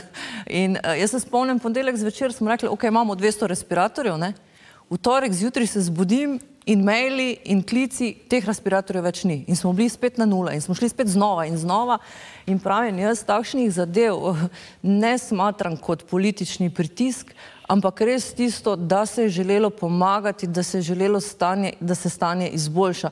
In kdorkoli je to mislil, je to gospod Židan, ne vem, gospod Podobnik, gospa Urška Bočovnik, Janša, jaz, gospod, kdorkoli je pač želel, da se stvari raziščejo oziroma da grejo naprej, da se, da se skladišča polnijo, jaz mislim, da je mislil samo dobro. Nihče ni želel, torej je pa res, tako kot je bilo rečeno, Glasovi so bili pozdignjeni, zakaj še ni nabavljamo, dejmo nabaviti, imamo še vedno nula v skladiščih, uh, prihajale, pravim, bilo je res hektično. No, in uh, še enkrat, ne smatram to za politične pritiske, ne enega, ne drugega, ampak čisto izključno človeško humanitarno pomoč oziroma dejmo narediti. Še enkrat pa povdarjam, tako kot mi vsi, v vladnem poročilu, ki bo, ko ste rekli, da bomo o tem tudi eh, spregovorili besedo, nič ne skrivamo in če je karkoli bilo narobe, potem se naj to razišče, naj se pove, naj pa se v megli ne razlaga, so se okoristili in tako naprej. Konkretni dokazi. Ja, še vam bomo dali priložnost, gospod Marjan Podobnik, ne videli ste to izjavo gospoda Kantarutija. Eh, Dejana Židana o tem v tarči niso spraševali, vi ste želeli pojasniti uh, obtožbe na vaš račun, pa vas v studiu nis, niso povabili, potem ste se snemali pred RTV Slovenija. Torej, kratek. No, glede, jaz danes enajsti dan ko mi niso objavili nobenega odgovora, naredili nekaj manipulacij z mojimi teksti. Eh, gospod Kadunc je odgovoril na pismo Zbora za republiko, da bi težko govorili, da se je podobniku zgodila diskreditacija in tako naprej, ampak eh, jaz sem prej že rekel, jaz ocenujem pozitivno, da se je tudi gospod Židan angažiral, verjamem, da z istim pozitivnim namenom. Ampak to, kar je bilo večkrat rečeno, lejte, šlo je za življenja. Jaz sem vprašal enega novinarja, predstavljajte si, da imate vi, vi kot voditelj, starega očeta ali pa mamo v domu za starejše. In ker ni respiratorjev, eh, je nevarnost, da bo nekdo umrl. Veste pa, da nekdo, ki je vpliven, ki bi lahko pritisnil na nekega uradnika in bi rekel za božjo voljo pospeši zadeve, tam tisoč kilometrov stran so ti respiratori, če jutri pridejo v Slovenijo, bo vaš oče preživel. Ali bi vi pričakovali, da bo tisti, ki ima ta vpliv, ga izkoristil in dvignil glas pri tem uradniku. Ja, bi pričakovali, da bi rešili vašega očeta. In jaz sem zato dvignil ta glas. In meni se zdi sprevrženo, da pristanemo na to, da tisti, ki smo skušali pomagati, se moramo zdaj zagovarjati. Zato, ker če ne bomo ustrajali v tej bitki, da je bilo to plemenito in da smo na to lahko ponosni, potem v naslednji zgodbi, v naslednji vojni, v naslednji pandemiji se Sloveniji slabo piše. Jaz upam, da bomo uspeli s tem prepričevanjem. Ja, toliko za enkrat, spoštovani gostje, bomo našo debato nadaljevali po glasih. Torej, spoštovane gledalke, spoštovani gledalci, vzeli si bomo kratek premor in smo nazaj čez nekaj minut. Ostanite z nami. Ponovno pozdravljeni v oddaji Razkrito. Vlada Republike Slovenije je danes na seji na Brdu pri Kranju eh, sprejela in potrdila poročilo o stanju in nabavah zaščitne opreme. Ugotovljena dejstva se bistveno razlikuje od tega, kar nam je bilo v medijih predstavljeno v zadnjih dveh tednih. Ključne poudarke sporočila je strnil Aleksandar Rand. Poglejmo. Vladno poročilo o nabavah zaščitne opreme v času epidemije je razkrilo veliko podatkov, do katerih javnost v preteklosti ni imela dostopa. Poročilo najbolj bremeni preteklo vlado z Marjanom Šarcem na čelu in uslužbenca blagovnih rezerv Ivana Galeta. Kljub temu, da je bil v odsotnosti direktorja blagovnih rezerv Antona Zakrajška prav Gale odgovoren za nabavo opreme, se je pod večino pogodb podpisal Lojze Črne. Črne je podpisal 34 pogodb v skupni vrednosti 127 milijonov 730 3495 evrov. Gale pa le 11 pogodb v skupni vrednosti 29 milijonov 238 tisoč 15 evrov. Poročilo kot sporni izpostavlja prav dve pogodbi s podjetjama MD Global in OECO, obe je podpisal Ivan Gale. Prva sporna stvar pri pogodbah, ki jih je podpisal Gale, je, da je bila prvotna vrednost podpisanih pogodb 29 milijonov 238 tisoč 15 evrov, na to pa je podpisal za tri pogodbe od 11, kar kar za 39 milijonov 828 tisoč evrov aneksov. Med temi podjetji sta prav OECO in MD Global, podjetji, ki se ne ukvarjata z zaščitno opremo. V pogodbi s podjetjem OECO je cena ponujenih zaščitnih mask zrasla z prvotnih 3 milijonov evrov na 4,9 milijona evrov. Ministrstvo za gospodarstvo soglasja za aneks ni podalo. Pogodba s podjetjem OECO je bila v celoti stornirana. Prav enaka zgodba je bila s podjetjem MD Global, ki naj bi dobavilo za 9 milijonov 968 tisoč evrov zaščitnih mask. Podjetje do roka mask ni dobavilo, ga le pa je predlagal aneks, s katerim bi podaljšali rok dobave. Tudi s tem aneksom zaradi nezanesljivosti podjetja z dvema zaposlenima gospodarsko ministrstvo ni soglašalo. Podjetji MD Global in OECO torej nista dobili ogromnega posla, kot smo že poročali, pa naj bi ravno za tema dvema podjetjama stal nekdani direktor Sove Sebastian Selan. Ta naj bi bil povezan tudi z Galetom. Poročilo dokazuje, da so bili v poslih res preferirani nekateri kupci, a ti niso bili preferirani strani vlade, pač pa strani Ivana Galeta. Poročilo ovrže tudi očitke vladi, da je kupovala najdražje artikle in da ni bila gospodarna z javnim denarjem. Vlada Marjana Šarca je namreč maske FFP2 kupovala po 4,64 evra na kos, sedanja vlada pa v času epidemije po 3,40 evra na kos. Prav tako je bila povprečna cena ventilatorja pod Šarčevo vlado 49 154,55 evra, v času sedanje vlade v krizi pa 33 880,44 evra. Poročilo tudi ugotavlja, da vlada Marjana Šarca zaradi prepočasnega odziva ni pravočasno naročila in vsaj minimalno preskrbela zadostne količine zaščitne opreme. Poročilo Šarca posredno obtožuje nevestnega upravljanja svoje funkcije. 13. marca, na prvi dan nove vlade, je bilo namreč v skladiščih blagovnih rezerv le 3210 mask tipa FFP3, 76 700 kirurških mask, 1 725 190 rokavic, 3630 zaščitnih oblek in 4900 kg dezinfekcijskih sredstev. Šarec je trdil, da je zaščitne opreme dovolj, kar je zanikal celo nekdani minister za zdravje Šabeder. Vedeli so, da zaščitne opreme ni dovolj. Šarec je prav tako zavajal javnost, da imamo pripravljen načrt za delovanje v epidemiji. Imeli smo načrt za delovanje ob izbruhu epidemije navadne gripe, pa še ta je bil brez izvedbenih aktov in je predvideval zaščitno opremo le za pripadnike službe za zaščito in reševanje. Poročilo torej razkriva, da je prejšnja vlada, predvsem premijer Šarec, močno podcenjevala epidemijo in da ni do časa naročila zaščitne opreme. Prav tako je opustila dolžno ravnanje, ko medicinske zaščitne opreme ni uvrstila med osnovna sredstva. Poročilo razkriva tudi vlogo Ivana Galeta, ki je daleč od nedolžnega akterja v tej zgodbi. Sodeloval je pri podpisu dveh spornih pogodb in celo lobiral za anekse k tem pogodbam. Še več, 14. aprila, štiri dni potem, ko je minister Počivalšek naznanil, da se bo sedaj naročalo skladno z običajno prakso po zakonu o javnih naročilih, je Galej izpeljal 1,8 milijona vreden posel s podjetjem SLA Marketing DOO. Na dan podpisa pogodbe so bile maske dostavljene in plačane. Torej, poraja se sum, da je bil posel vnaprej dogovorjen in da je Galej zavestno kršil direktive ministra za gospodarstvo in posel izvedel mimo zakona o javnem naročanju. Ja, videli smo tale prispevek o poročilu uh, o nabavah zaščitne opreme. Gospod Počivalšek, kako vidite vi dejstvo, da je ravno Ivan Gale, začetnik te afere in tako imenovani žvižgač, upleten na prvi pogled sporne posle, torej tukaj se omenjata MD Global in OECO, tukaj je bilo nekaj resnično narobe. Jaz lahko rečem, da sem gospoda Galeta spoznal šele par dni eh, potem, ko se je eh, direktor eh, osamil v samo izolacijo. Bil je na dveh, treh eh, koordinacijah.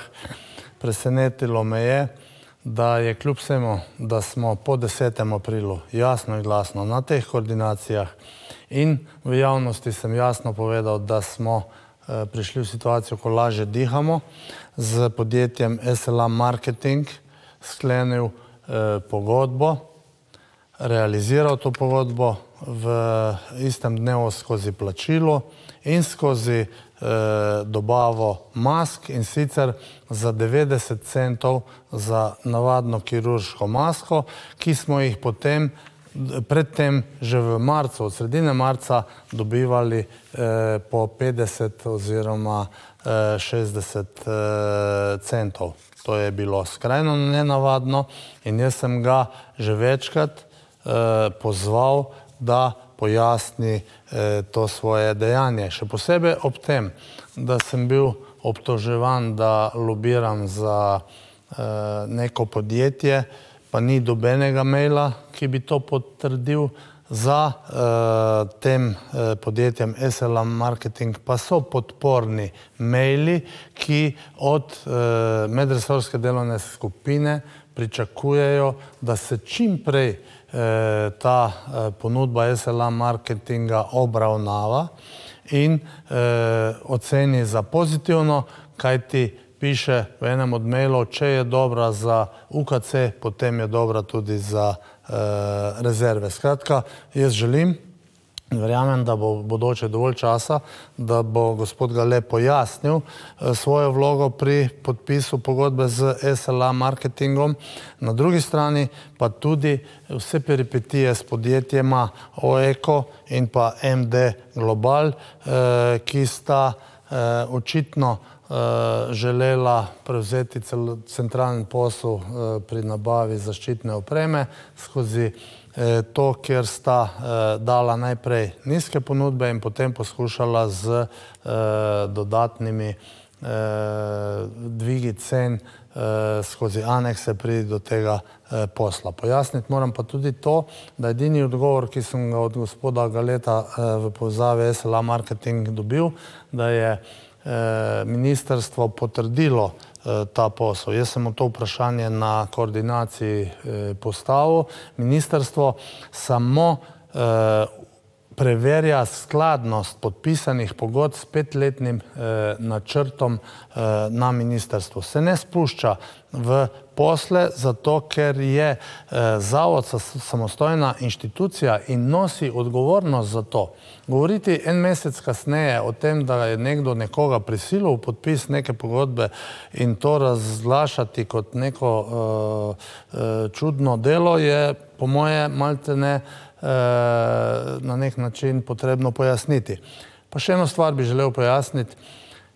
Mi na ministrstvu, jaz osebno sem sprejel odločitev že nekje sredi marca, da vse pogodbe objavimo in nihče ni ničesar razkril, kajti vse pogodbe, ki smo jih podpisali, smo od vsega začetka objavili, ne od vsega začetka, ampak od tam nekje sredine marca dalje eh, objavili, ampak tudi tiste, ki smo jih podpisali prej in te kasneje. Se pravi, vse je vidno in ni, ni, ni posla, ki ga ministrstvo kot tako ne bi objavilo v javnosti. Ja, kot že rečeno, čeprav je Ivan Gale zavrnil sodelovanje v naši oddaji, nam je vendar dal možnost, da smo mu postavili vprašanja po elektronski pošti in nam je nekaj tudi odgovoril. Uh, njegov celoten odgovor se boste lahko po oddaji gledali na naši spletni strani. Med drugim smo ga vprašali, zakaj je torej večino pogod podpisal gospod Črne, čeprav je zakrajšek pooblastil njega, da ga nadomešča in kako komentira, kar smo tudi videli v prispevku, vs angažma pri pogodbah s podjetjama MD Global in OECO, zakaj je torej podpisal za 40 milijonov aneksov k pogodbam, ki so bile vredne 30 milijonov eh, in če je v tem primeru ravnal po lastni volji. No, gospod eh, Počivalša, gospod Gale, vaš čas trdi, da ste mu to vi učitali že v tarči in da on ni podpisal nobenih aneksov, da gre za vaše laganje. Um, boste dokazali, da laže on? Gospod Gale je po mojih podatkih podpisal 11 pogodb uh, in pa 3 uh, anekse. Ne govorim zdaj o teh treh eh, eh, podjetjih. Gospod Zakrajšek je podpisal 17 pogodb in gospod eh, Črne, kot ste povedali, 34, zraven so tudi eh, sami eh, zneski. Če se spomnite, je bilo v javnosti že omenjeno, da je eh, sam je izjavil, da je podpisal samo pet pogodb, pa se potem eh, popravil, kajti eh, pozabo je, da je podpisoval pogodbe že pred ustanovitvijo medresorske delovne skupine. In zanimivo bo dobiti odgovor na vprašanje, eh, zakaj je prav on podpisal eh, pogodbo z MD Globalom in pa OECOM, če to lahko povežemo strokovnjaki za eh, prisluškovanje. Ja, gospod Podobnik, kako vi komentirate te razlike v cenah teh mask? Ne? Podjetje, ki ste ga vi priporočili, je te maske dobavilo za nič celi 49 uh, evra, medtem ko so bile te maske podjetja SL Marketing draže en evro. Ja, zdaj, veliko pove že to, da niti gospod Gale, niti drugi povabljeni danes niso prišli na soočenje. Lejte, to velja, bom rekel, skoraj da stoprocentno. Ko se nekdo ne upa soočiti, ima problem z argumenti. Se pravi, to dejstvo, da se ne upajo soočiti, pove več kot tisoč besed. Jaz sem gospoda Galeta vseh teh deset dni spraševal, tudi smo imeli nekaj korespondence, naj za božjo voljo pač pove, pojasnimo te stvari, mu ne želim pripisovati slabih namenov, ampak ravno to konkretno vprašanje, zdaj zelo preprosto rečeno, en del dvornih dobaviteljev je verjetno izvisu pri teh poslih in je to ena slaba volja, zaradi česar smo zdaj vsi napadeni in za konkretno firmo Dobnik Trade in tudi zame je pa glavni greh to, da smo tako poceni maske pripeljali z Kitajske.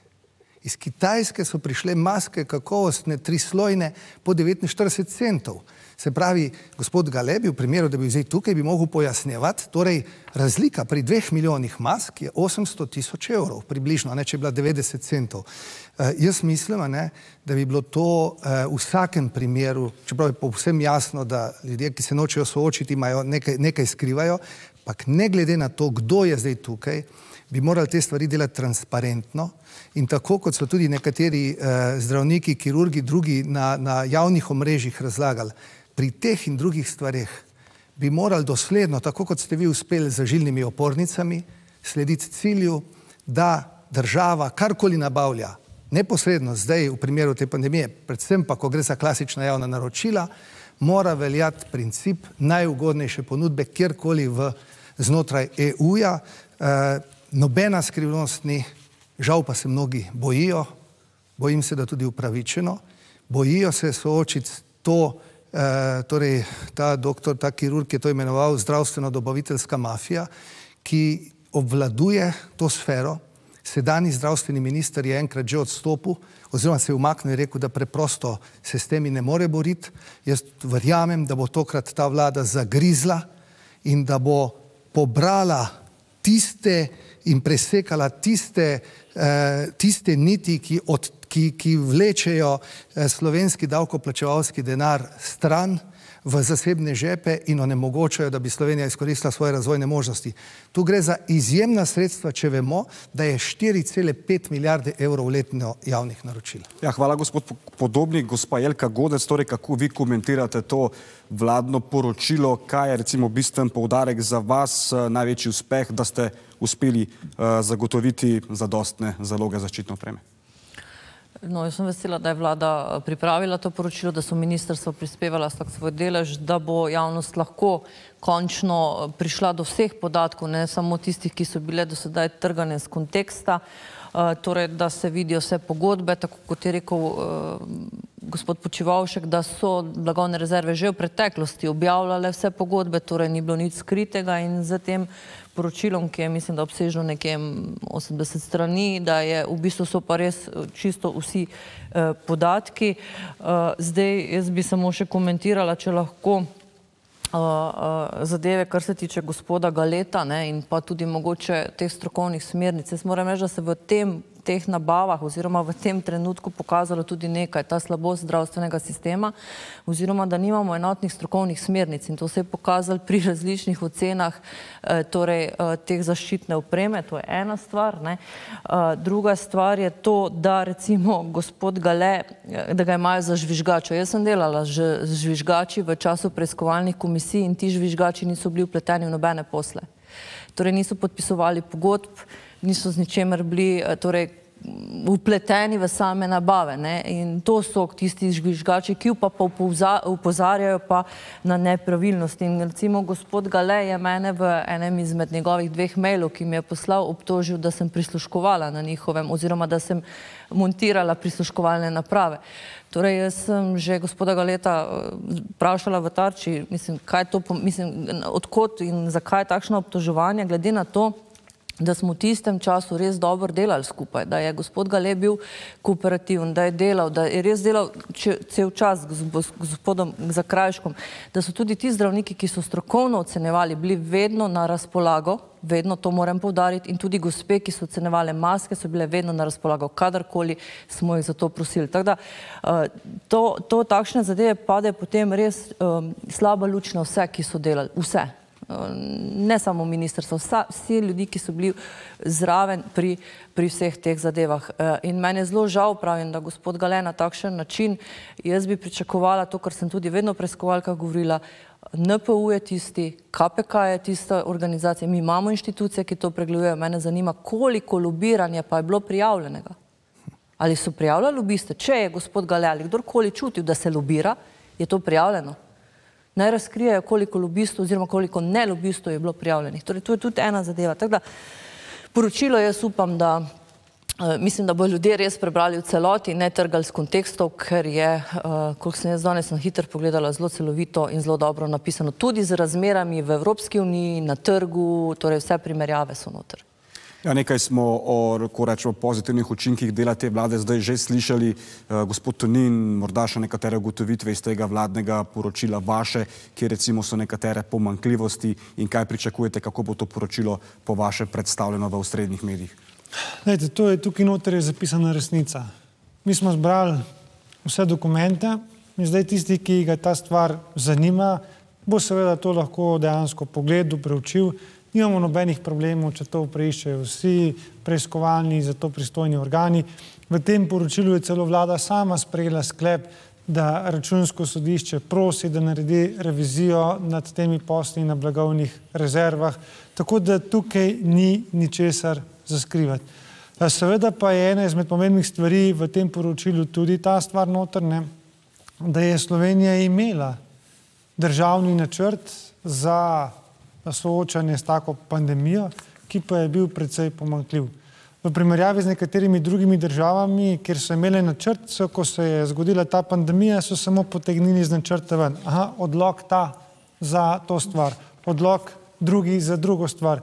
Mi smo se po tistih kritičnih trenutkih borili čez noči, pisali te odloke, zaradi tega, da smo lahko ustrezno ukrepali in danes je na podlagi tega poročila tudi vlada sprejela usmeritev, da gremo v popravke tega državnega načrta, da bomo na morebitni drugi val absolutno pripravljeni in da nas ne bo nobena stvar več eh, presenetila. Tako da eh, to je bilo danes dogovorjeno, da v te popravke gremo, da mora vsak resor pogledati pri sebi, kaj je potrebno stvari izboljšati, da se te dokumenti zberajo in da imamo potem eh, celovit akcijski načrt, kako se soočati s COVID-om. In potem upam, da tisti, ki jih zanima resnica, naj si prebere, da bo pa potem, da bodo vsi skupaj pustili vlado, da dejansko se lahko začnemo ukvarjati z rednimi vsakdanjimi stvarmi, ki zdaj v tej krizi čakajo, jih pa Slovenija vsekakor potrebuje. Lete, od debirokratizacije do ostalih stvari, ki bi pospešili gospodarstvo,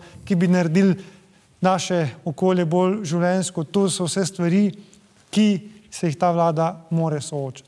Ja, gospod Počevalšek, ne, zdaj opozicija je proti vam uložila interpelacijo, vi vse čas pravite, da se tega ne bojite, da boste imeli priložnost eh, še na bolj na široko eh, predstaviti svoje delo. Skratka, nek komentar, kaj pričakujete na interpelaciji, je ta vlada enotna, vas vsi zagovarjajo.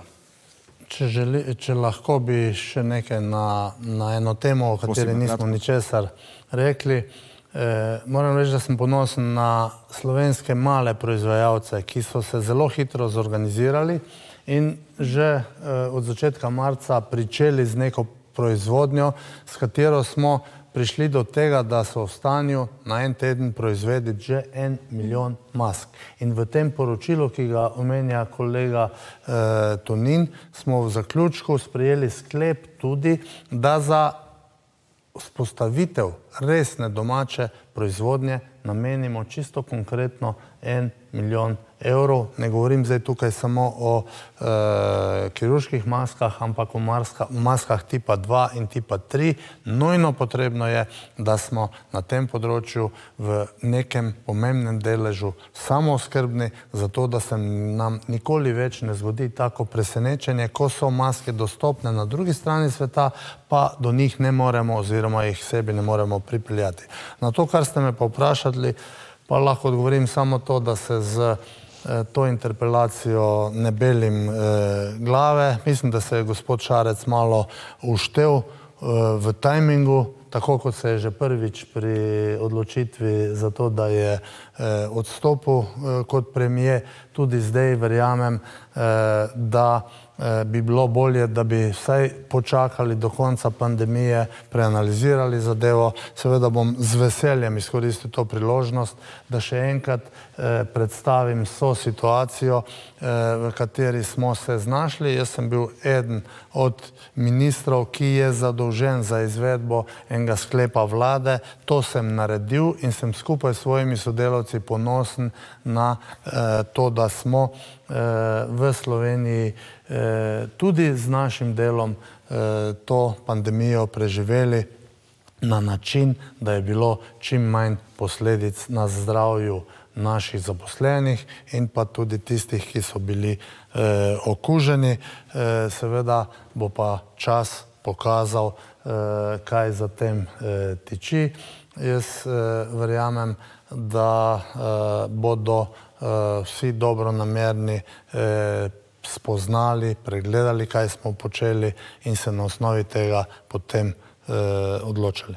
Ampak gospod Počevalšek, kako vi vidite dejstvo, da vas je mesec in pol nazaj Marjan Šarec vabil še v skupno koalicijo, zdaj pa je on prvi, ki vas pravzaprav interpelira?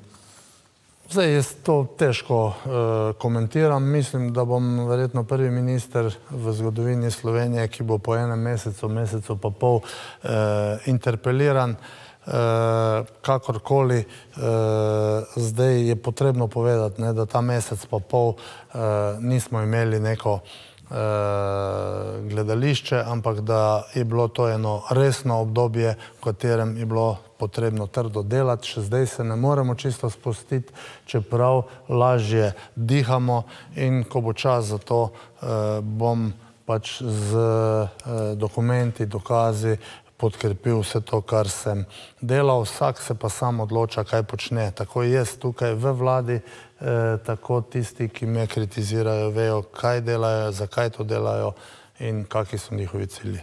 Ja, morda bi samo prosil za kratek komentar tudi preostale tri te interpelacije, gospod Tunin. Interpelacija je urodje opozicije. Jaz mislim, da ima tukaj vladna koalicija trdno večino. Gospod Godec?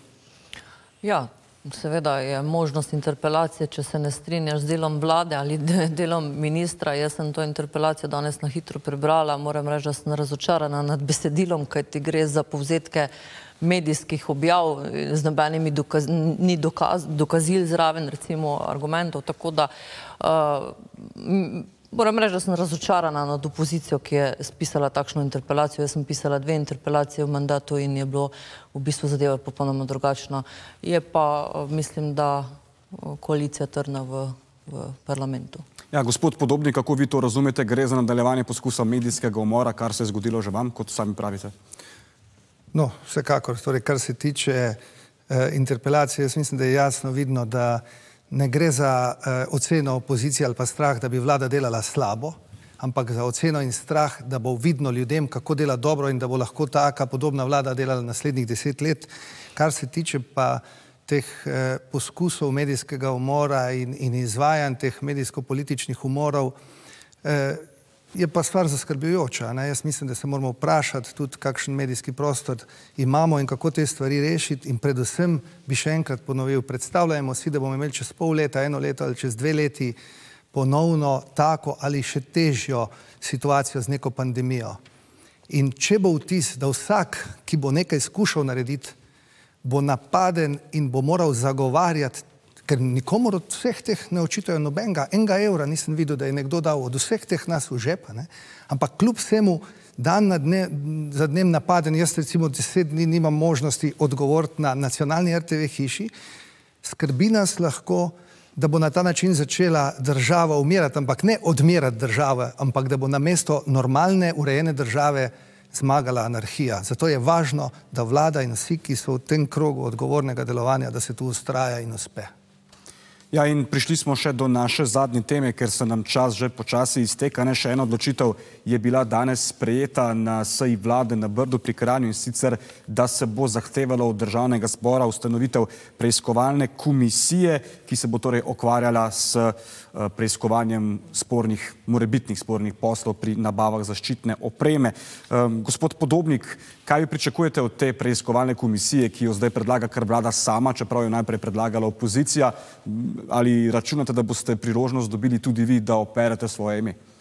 Torej, eh, jaz bi vsekakor bil vesel, kjerkoli, kamorkoli sem pripravljen priti, na vsako stvar sem se pripravljen soočiti. Eh, jaz mislim, da je bilo zelo modro, pametno danes narejeno, da je tudi vladna koalicija uložila to zahtevo za to preiskovalno komisijo. Ne smemo pristati na, na podcenjevanje teh komisij. Poleg policije in drugih preiskovalnih organov imajo preiskovalne komisije izjemno pomembno vlogo, jaz se spomnim še iz časov, izpred 20 in več let, in tudi te komisije, ki ste jo imeli v zvezi z zdravstvom, žilnimi opornicami in tako naprej, in nekatere v zvezi z bankami, to so pomembni členi v graditvi demokratične družbe, kjer se krepijo ustanove nadzora in vse tisti, ki zagotavljajo neko normalno delovanje države. In eh, ta logika, da so vsi skorumpirani, da je, da je vse narobe, da samo nekdo enkrat eden prileti kot, kot eh, žvižgač, enkrat drugi kot ena čista oseba, upam, da bodo ljudje vendarle počasi spregledali Eh, da če, ne, če se ne držimo principa ZKP, torej zdrave kmečke pameti, potem državi se ne piše dobro. Ja, gospod Počevašek, morda komentar, ne, preiskovalna komisija, ki jo predlaga vlada, ponavadi je to urodje opozicije, zdaj je drugače. No, najprej povem, da prisegam na ZKP, ki ga je omenil eh, gospod Podobnik.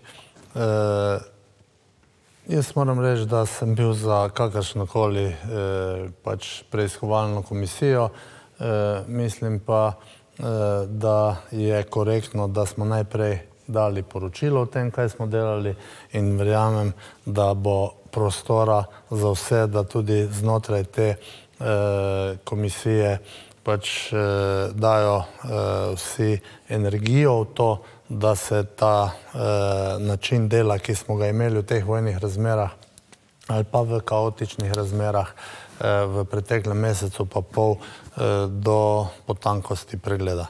Ja, gospod Tonin, vodja poslanske skupine Nova Slovenija, Jožef Horat je dejal, čakali smo, da predlaga to parlamentarno preiskavo, opozicija pa se to ni zgodilo, zdaj ne bomo več čakali, ampak po drugi strani pa opozicija zdaj pravi, da bo ustanovila pa svojo eh, komisijo. Zato to vse skupaj potrjuje moje tezo, da pri tej stvari, pri tej zgodbi ni poanta resnica, ampak je poanta političen obračun. Ker če poznate poslovniška določila, a veste, kako je sestavljena preiskovalna komisija? Ne na velikost poslanske skupine, ampak vsaka poslanska skupina ima enega predstavnika.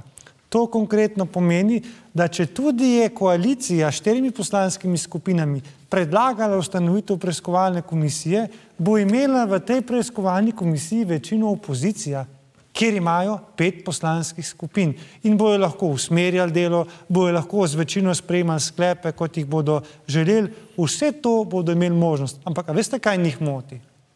Njih moti, da je koalicija predlagala ne samo, da se raziskuje to krizno obdobje, v katerem zdaj delujemo, ampak da se razišče tudi obdobje, bi rekel, po novem letu, po tistem, ko smo dnevno gledali poročila iz Vuhana, kaj se dogaja. To jih moti in to jih boli. Zaradi tega smo danes poslušali take fraze, ne, ljudje, ki teh poslovniških določil ne poznajo, so najverjetneje še verjeli tem stvarim, ko je, ne Luka Mesec pa Marjan Šarec sta dejala, češ, ali zdaj bo eh, lisica preštevala kokoši, ali zdaj bo eh, vladna koalicija preiskovala same sebe. Ne, ne, ne.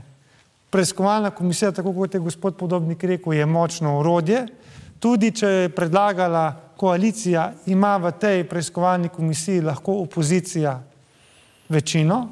Seveda je pa zdaj tukaj temeljno vprašanje, eh, ali bomo delali zgodbo celovito ali samo tisto, Eh, kar si želi opozicija. Zato še enkrat podarjam, ne, Po moji oceni, ker sem videl danes, ker vidim v zadnjih dneh, ni cilj resnica, ampak političen obračun. Ja, in gospa Godec, bomo zaključili z vami. Ne? Tonin eh, se je dobro navezal na uh, izjavo bivšega predsednika vlade Marjana Šarca, češ zdaj želi vlada Janeza Janše preiskovati samo sebe in da naj bi se tukaj ugotavljalo, koliko uh, kokoš je lisica odnesla iz kurnika. Je cilj parlamentarne preiskave, uh, ki jo nekako želi vlada tudi ugotoviti, koliko kokoš je sploh v kurniku bilo 13. marca? Ja, eh, jaz moram reči, da še nisem uspela pregledati eh, vložene, vloženega predloga, ampak eh, ja, če seveda preiskovalna komisija, tako kot je bilo rečeno, ima možnost vse parlamentarne preiskovalne mislim, stranke dati svoje člane, vsi imajo možnost predlagati in katero gradivo in katere priče, imajo nenehni nadzor, dva člana imajo noter, enega člana in enega nadomestnega. In seveda je potem pa problem, če pa preiskovalna komisija preiskuje še širše, to pomeni, da preiskuje širše obdobje, da se ne fokusira tako, kot je bilo rečeno, samo na to krizno obdobje, ampak tudi, kaj se je dogajalo prej in kaj se bo verjetno dogajalo uh, do tistega dneva, ko bo parlamentarna preiskovalna komisija ustanovena. Je pa veliko na tem, kdo bo to vodil, veliko je na predsedniku, jaz sama sem bila predsednica preiskovalne komisije in vem.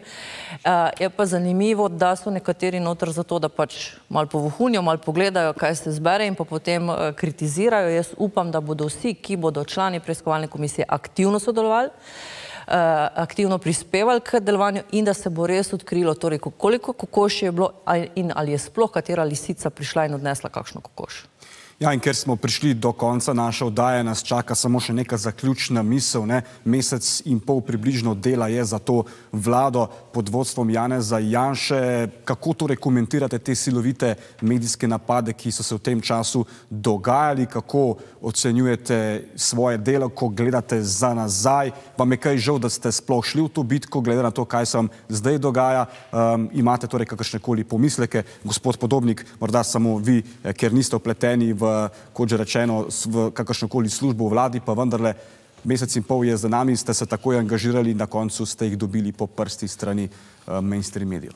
No, to ni bilo prvič. Ne? Jaz sem uh, svoj medijsko-politični umor doživel pred uh, več kot 20 leti. Uh, sem pa uh, vesel mnogo bolj kot moji domači in številni drugi tega, te možnosti, da se bo sedaj ne le razkrinkalo to. Jaz imam recimo neke stvari, pa jih zavestno nisem želel danes tukaj, ker bo še možno ne želim obtoževati, recimo mimo grede, nekaj bilo omenjeno uh, gospod Galea, ne, izredno ne želim obtoževati, ker dejansko ne poznam vsega, on se noče soočiti. Ampak gledajte, a ni čudno, da je on posredoval, da, da maske ki so bile na kitajskem, ne bi prišle te po 49 centov, da ne bi prišle do letališča, je klical to podjetje in je rekel, kljub temu so bile že plačane, ni potrebno, da jih vozite na letališče, ste šele tretji v vrsti.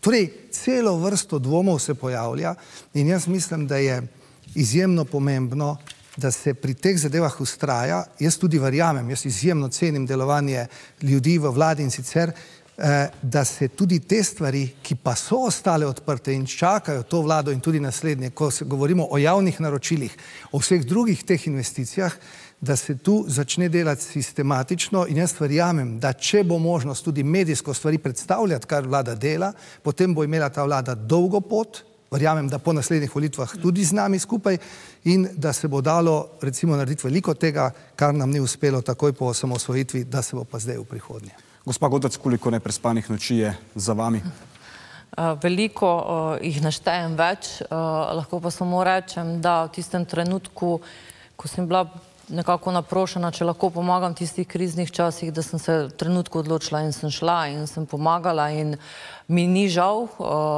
Vse, kar sem naredila v teh časih, bi naredila zdaj enako. Ni ničesar takšnega, kar bi skrivala. Uh, moram pa reči, da uh, sem pa hvaležna vsem, ki so delali z mano, da so bili zelo kooperativni, da so šli tudi težki časi hitro mimo. Uh, in pa še enkrat, no, meni se učita, češ, da sem delala nekaj, za kar nisem imela funkcije. To pa je problematika naše države, ker moraš imeti za vse funkcijo. To je en je dal dobro prispodobo. Ne? Uh, gledala bi sosedno hišo, ki gori, imela bi gasilni aparat, pa ne bi pomagala, ker nisem gasilka. Tako da jaz moram reči, da marsikdo je delal eh, brez funkcije, uh, samo v dobro in uh, brez, slabega, brez slabe vesti pač pričakujem vse od, bom rekla, vseh pregledov, ki pač verjetno tudi sledijo.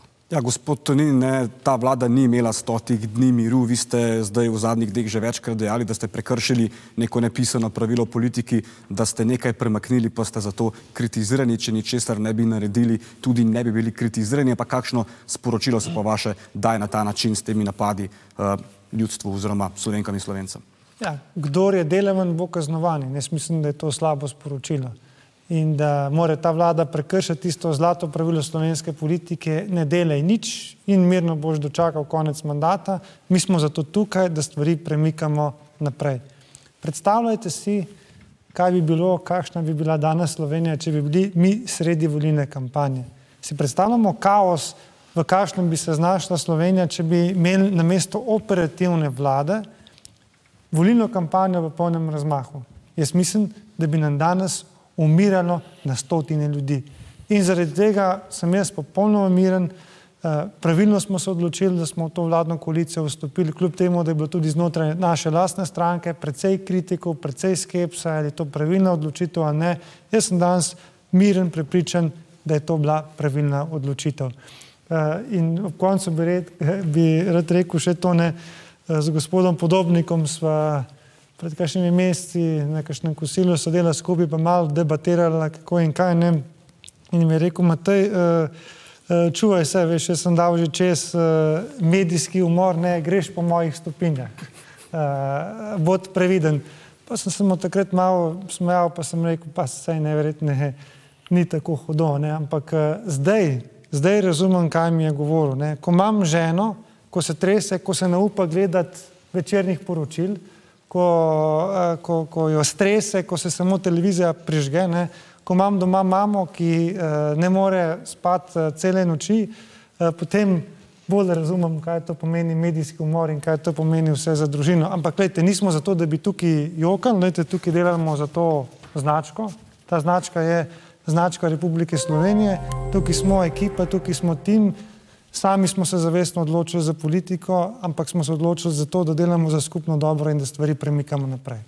Ja, hvala, gospod Alin. In takole za konec, gospod Počivalšek, ne, ko gledate nazaj mesec in pol tega dela v času korona krize, ali bi kaj naredili drugače, imate kakšno obžalovanje. Uh, bilo je predvsej kritik, češ, da je bila prevelika odgovornost uh, nekako preložena na Zavod za blagovne rezerve. Med drugim je Ivan Gale danes v svojem elektronskem sporočilu na moje vprašanje odgovoril, da se tudi sam popolnoma nič ni spoznal na zaščitno opremo pred razglasitvijo epidemije, kot tudi sam nikoli ni sodeloval pri pripravi tehničnih specifikacij za javna naročila z področja zaščitne opreme. Skratka, če bi se kakršnakoli kriza s koronavirusom ponovila, bi zdaj to delali drugače, imamo izkušnje. Vsi smo na istem čonu, vsi tisti, ki smo delali na nabavi zaščitne opreme z državljani vred, vsi smo imeli samo en cilj, da obvladamo epidemijo. E, da je Slovenija epidemijo obvladala, je zasluga e, nas e, vseh. Tu ne gre za zmago politike, gre za zmago vseh, ki živimo v tej državi, na to sem ponosen. Govoriti zdaj o tem, kaj je bilo po bitki, biti pameten, uh, zna uh, vsakdo. V razmerah uh, pod 13. marcu pa je bilo potrebno sprejemati odločitve. Te smo mi sprejemali in jaz verjamem, da bomo, da tisti, ki smo delali, ne bomo kaznovani. Ja, in ker se je naš čas eh, iztekel, bi se vam na tej točki, spoštovani gostje, zahvalil za sodelovanje. Čeprav nam gre dobro, ta bitka s koronavirusom še ni čisto končana, tako da vam seveda želimo uspešno delo še naprej in čim več modrih odločitev. Hvala za obisk v našem studiu. Prosim. Hvala. Hvala pa tudi vam, spoštovane gledalke, spoštovani gledalci. To je bila posebna oddaja Razkrito. V temi dneva se ponovno vidimo jutri. Lep preostanek večera. Ostanite zdravi lahko noč.